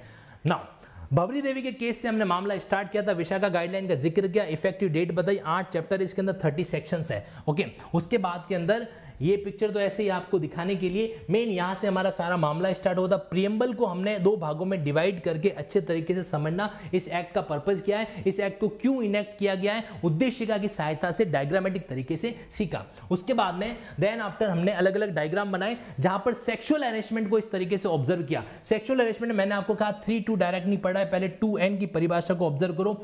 आईपीसी के सेक्शन 344 ए के साथ में इसका कनेक्शन जोड़ो और उसके बाद में मेन बिंदु को समझो। सेक्शन थ्री का जो क्लॉज वन है ना, वो इसका चार्जिंग सेक्शन है। वो मेन बात कहता है कि किसी भी महिला के साथ में वर्क प्लेस पर सेक्सुअल अरेस्टमेंट नहीं होना चाहिए। वो पॉइंट यहाँ पर आपके सामने आएगा। देन आफ्टर ये हमने प्रोसीजर समझी कि यहाँ पर पहले वो कंप्लेन करेगी। कंप्लेन तीन महीने के अंदर होनी चाहिए। तीन महीने और बढ़ाए जा सकते हैं। उसके बाद कमेटी जो है, उसके अंदर जो अलग अलग कमेटियाँ कौन कौन सी होती है, वो भी सारा पॉइंट यहाँ पर हमारे सामने ज़िक्र होता है। सेक्शन फोर के तहत जो है इंटरनल कंप्लेन कमेटी इसका पूरा पोस्टमार्टम हमने किया। Sub section wise section four के सारे एस्पेक्ट को अच्छे तरीके से ऑब्ज़र्व है, जो कर रखा है। सेक्शन 16 का भी पॉइंट हमारे सामने डिस्कस हुआ था। देन आफ्टर ये जो अलग अलग कमेटियाँ उनकी प्रोसेस क्या रहेगी तो वो सुलह कराने का प्रयास करेगी। सेटलमेंट होगा तो क्या होगा? सेटलमेंट नहीं होता है तो क्या होगा? इंक्वायरी के दौरान कौन कौन से इंट्रीम ऑर्डर पास किए जा सकते हैं? ये वाला बिंदु यहाँ पर आया था। अगर प्रूव हो जाता है तो कौन कौन से आदेश निकल सकते हैं? नॉट प्रूव होता है तो फाल्स कंप्लेन का सेक्शन कौन सा होगा? इस तरीके से कौन कौन से ऑर्डर जो हैं, वो अपीलेबल हैं। साथ ही साथ में अलग अलग तीन कैरेक्टर एम्प्लॉयर डिस्ट्रिक्ट ऑफिसर और अप्रोप्रिएट गवर्नमेंट इन तीन कैरेक्टर की मदद से लगभग 10 11 सेक्शन को क्लियर करने का हमारे द्वारा एक प्रयास हुआ है। एप्लीकेबिलिटी है ये एक्ट ओवरराइडिंग नहीं है। सात डेफिनेशन जो है आपको अपने माइंड में रखनी है एग्ज़ाम पॉइंट ऑफ़ व्यू से। अप्रोप्रिएट गवर्नमेंट का क्या क्या रोल है? 23, 24, 25, 29 और 30 के तहत ये वाली बात यहाँ पर आपके सामने आ जाएगी। और लास्ट में रिपोर्टिंग का पॉइंट जो है अच्छे से डिस्कस हुआ है। और साथ साथ में नियोक्ता का क्या क्या रोल है? एम्प्लॉयर का क्या क्या रोल है? अलग अलग सेक्शन से उस पॉइंट को भी हमने ऑब्ज़र्व किया। ये सारी बातें किसके संबंध में थी? हमारे इस पार्ट से। यानी कि सेक्सुअल हरेसमेंट एक्ट पॉइंट को इस तरीके से बेसिकली हम लोगों ने कवर करने का एफर्ट किया है। अब मुझे बताओ कॉन्सेप्चुअली ये एक्ट आपको समझ में आया कि नहीं आया? बताइए कॉन्सेप्चुअली मतलब इस एक्ट के अगर कॉन्सेप्ट की बात करें तो फंडा क्लियर हुआ कि नहीं हुआ? आप में से कितने कैंडिडेट्स हैं जो फ़र्स्ट मिनट से क्लास अटेंड कर रहे हैं? यस में लिखिए एक बार। यस में लिखिए, आप में से कितने कैंडिडेट हैं जो फ़र्स्ट मिनट से इस क्लास को अटेंड कर रहे हैं? कमेंट बॉक्स में यस करना।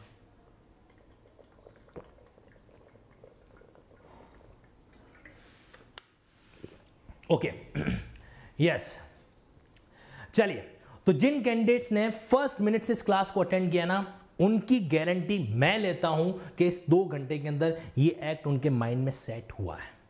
है ना? सिर्फ़ ज़रूरत क्या है? एक दो बार इस लेक्चर को और देख लेना। एक दो बार इस लेक्चर को और देख लेना, बाकी इसमें कुछ पॉइंट नहीं बचेगा। है ना? जो कैंडिडेट पीछे से जुड़े हैं, इसका मतलब उन्होंने पूरे एक्ट को ऑब्ज़र्व नहीं किया है। ठीक है? तो उनको करना होता है। देखो, मैं चाहता था कि जितने भी तीन एडिशनल एक्ट है ना एग्जामिनर को अफसोस हो कि यार ये मैंने जोड़ क्यों दिए? इससे कैंडिडेट के नंबर तो कट नहीं रहा है। क्यों नहीं कट रहा है? क्योंकि उसने लिंकिंग लॉ से पढ़ाई कर रखी है। अब भाई और तो कोई अपना प्रमोशन करेगा नहीं, हमें करना पड़ेगा। खैर तो this is all about the sexual harassment prevention of sexual harassment at work place act 2013 ठीक है?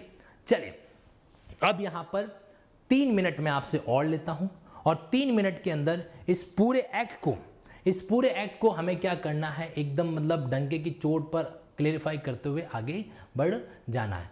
ठीक है? तैयार हो? रेडी हो यस और नो बताइए मुझे। उसके अकॉर्डिंग फिर अपन क्या करते हैं? सेगमेंट को स्टार्ट करते हैं। सेगमेंट को बोलो तो सेक्शन वन से लेकर सेक्शन थर्टी तक की सारी चीज़ें, अभी वन बाय वन हम क्या करने वाले हैं? क्लियर है जो करेंगे। ओके रेडी तैयार हो? चलिए। तो prevention of sexual harassment act 2013 का जो कानून है एट चैप्टर्स के अंदर डिवाइड हो रखा है, नौ दिसंबर को लागू हुआ था थर्टी सेक्शन के अंदर इसका पूरा सेगमेंट जो है वो डिवाइड होता है। सबसे पहले सबसेक्शन वन आता है जो कहता है ये कानून जो है ऑल ओवर इंडिया के अंदर लागू होगा, इसकी बेसिक एप्लीकेबिलिटी के बारे में बात करता है। उसके बाद सेक्शन टू आता है, जिसमें 16 अलग अलग डेफिनेशन है, लेकिन हमें कुछ सेलेक्टिव डेफिनेशन ही ध्यान में रखनी है। जैसे एम्प्लॉय कौन होगा एम्प्लॉय कौन होगा सेक्शुअल हेरेसमेंट का मतलब क्या होता है यहाँ पर वर्क प्लेस का मतलब क्या होगा वगैरह, ये बेसिक बात डेफिनेशन को माइंड के अंदर सेट रखना है। तीसरा सेक्शन सबसे इंपॉर्टेंट है प्रिवेंशन ऑफ़ सेक्सुअल हेरेसमेंट ये दो भागों में डिवाइड होता है। इसका जो सब सेक्शन वन है, वो इस एक्ट की चार्जिंग लाइन है, जिस कहता है कि सेक्सुअल हेरेसमेंट नहीं होना चाहिए वर्क प्लेस पर। सेक्शन सबसेक्शन टू जो है सेक्शन तीन का, वो सेक्सुअल अरेस्टमेंट की जो डेफिनेशन है सेक्शन टू एन के अंदर, उसको एडवांस स्टेज में लेकर आता है और पाँच अन्य बातें और बताता है। जैसे प्रिफरेंशियल ट्रीटमेंट डेट्रीमेंटल ट्रीटमेंट वाली बात हो जाएगी, या फिर एम्प्लॉयमेंट के संबंध में कोई धमकी वगैरह देना है, ये सारे पॉइंट वहाँ पर कवर होंगे ह्यूमिलेटिव बिहेवियर वगैरह एंड ऑल देन आफ्टर हमारे सामने फिर यहाँ पर जो है, शुरू होता है सेक्शन फोर जहाँ पे अपन ने ये कमिटियाँ जो होती है अलग अलग कमेटी, उसके बारे में बातचीत करते हैं। तो internal complaint committee section four के अंदर एम्प्लॉयर खुद कॉन्स्टिट्यूट करेगा। ठीक है? ये बात हमको ध्यान में रखनी है। इसमें कौन कौन होगा? एक प्रिजाइडिंग ऑफिसर होता है, दो अन्य सदस्य होते हैं जो लीगल और सोशल नॉलेज को रखते हैं, और एक अन्य सदस्य और होता है। ध्यान रखना, इसके अंदर जो प्रिजाइडिंग ऑफिसर मोस्टली क्या होगी? एक महिला होगी। ठीक है? देन आफ्टर हमारे सामने बात आती है लोकल कंप्लेंट कमेटी के संदर्भ में। ये जो लोकल कंप्लेंट कमेटी है, ये कौन सी कमेटी होगी? लोकल कंप्लेंट कमेटी का मतलब ये है कि एक डिस्ट्रिक्ट ऑफिसर जो है, वो स्थानीय डिस्ट्रिक्ट ऑफिसर के द्वारा क्या किया जाएगा? स्थानीय स्तर पर जो है कमेटी बनाई जाती है। और डिस्ट्रिक्ट ऑफिसर कौन होगा? जिसको सेक्शन फाइव में नियुक्त किया जाता है। ये जनरली कलेक्टर है, वो पर्सन इसके अंदर होते हैं। ठीक है? सेक्शन सिक्स के अंदर कॉन्स्टिट्यूशन होगा इसकी कमेटी का।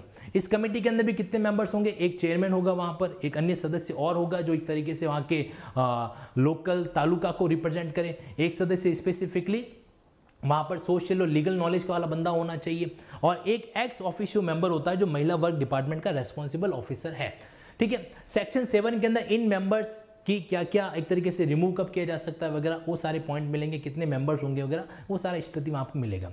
सेक्शन एट के अंदर जो है ग्रांट एंड ऑडिट के बारे में बात की जाती है। ग्रांट मतलब क्योंकि लोकल कमेटी एक तरह का सरकारी डिपार्टमेंट हो गया तो वहाँ पर उसको ऑब्जर्वेशन किया जाता है। सेक्शन नाइन में मेन कंप्लेन लॉन्च की जाएगी। सेक्शन टेन के अंदर सुलह कराने का कंसिलेशन कराने का प्रयास होगा। सेक्शन इलेवन के अंदर जो है फिर इंक्वायरी होगी। जब सुलह नहीं हो पाती है तो सेक्शन ट्वेल्व के दौरान इंट्रीम इंक्वायरी क्या क्या आदेश पारित किए जा सकते हैं। सेक्शन थर्टीन के अंदर फाइनल जो रिकमेंडेशन है कमेटी की तरफ़ से दी जाती है। सेक्शन फोर्टीन में फॉल्स कंप्लेन का मामला बनता है तो उसको डील किया जाता है। सेक्शन सोलह के अंदर जो है पब्लिकेशन वाली बातों को अच्छा सेक्शन पंद्रह कंपेंसेशन डिटरमाइन किया जाएगा पाँच फैक्टर से।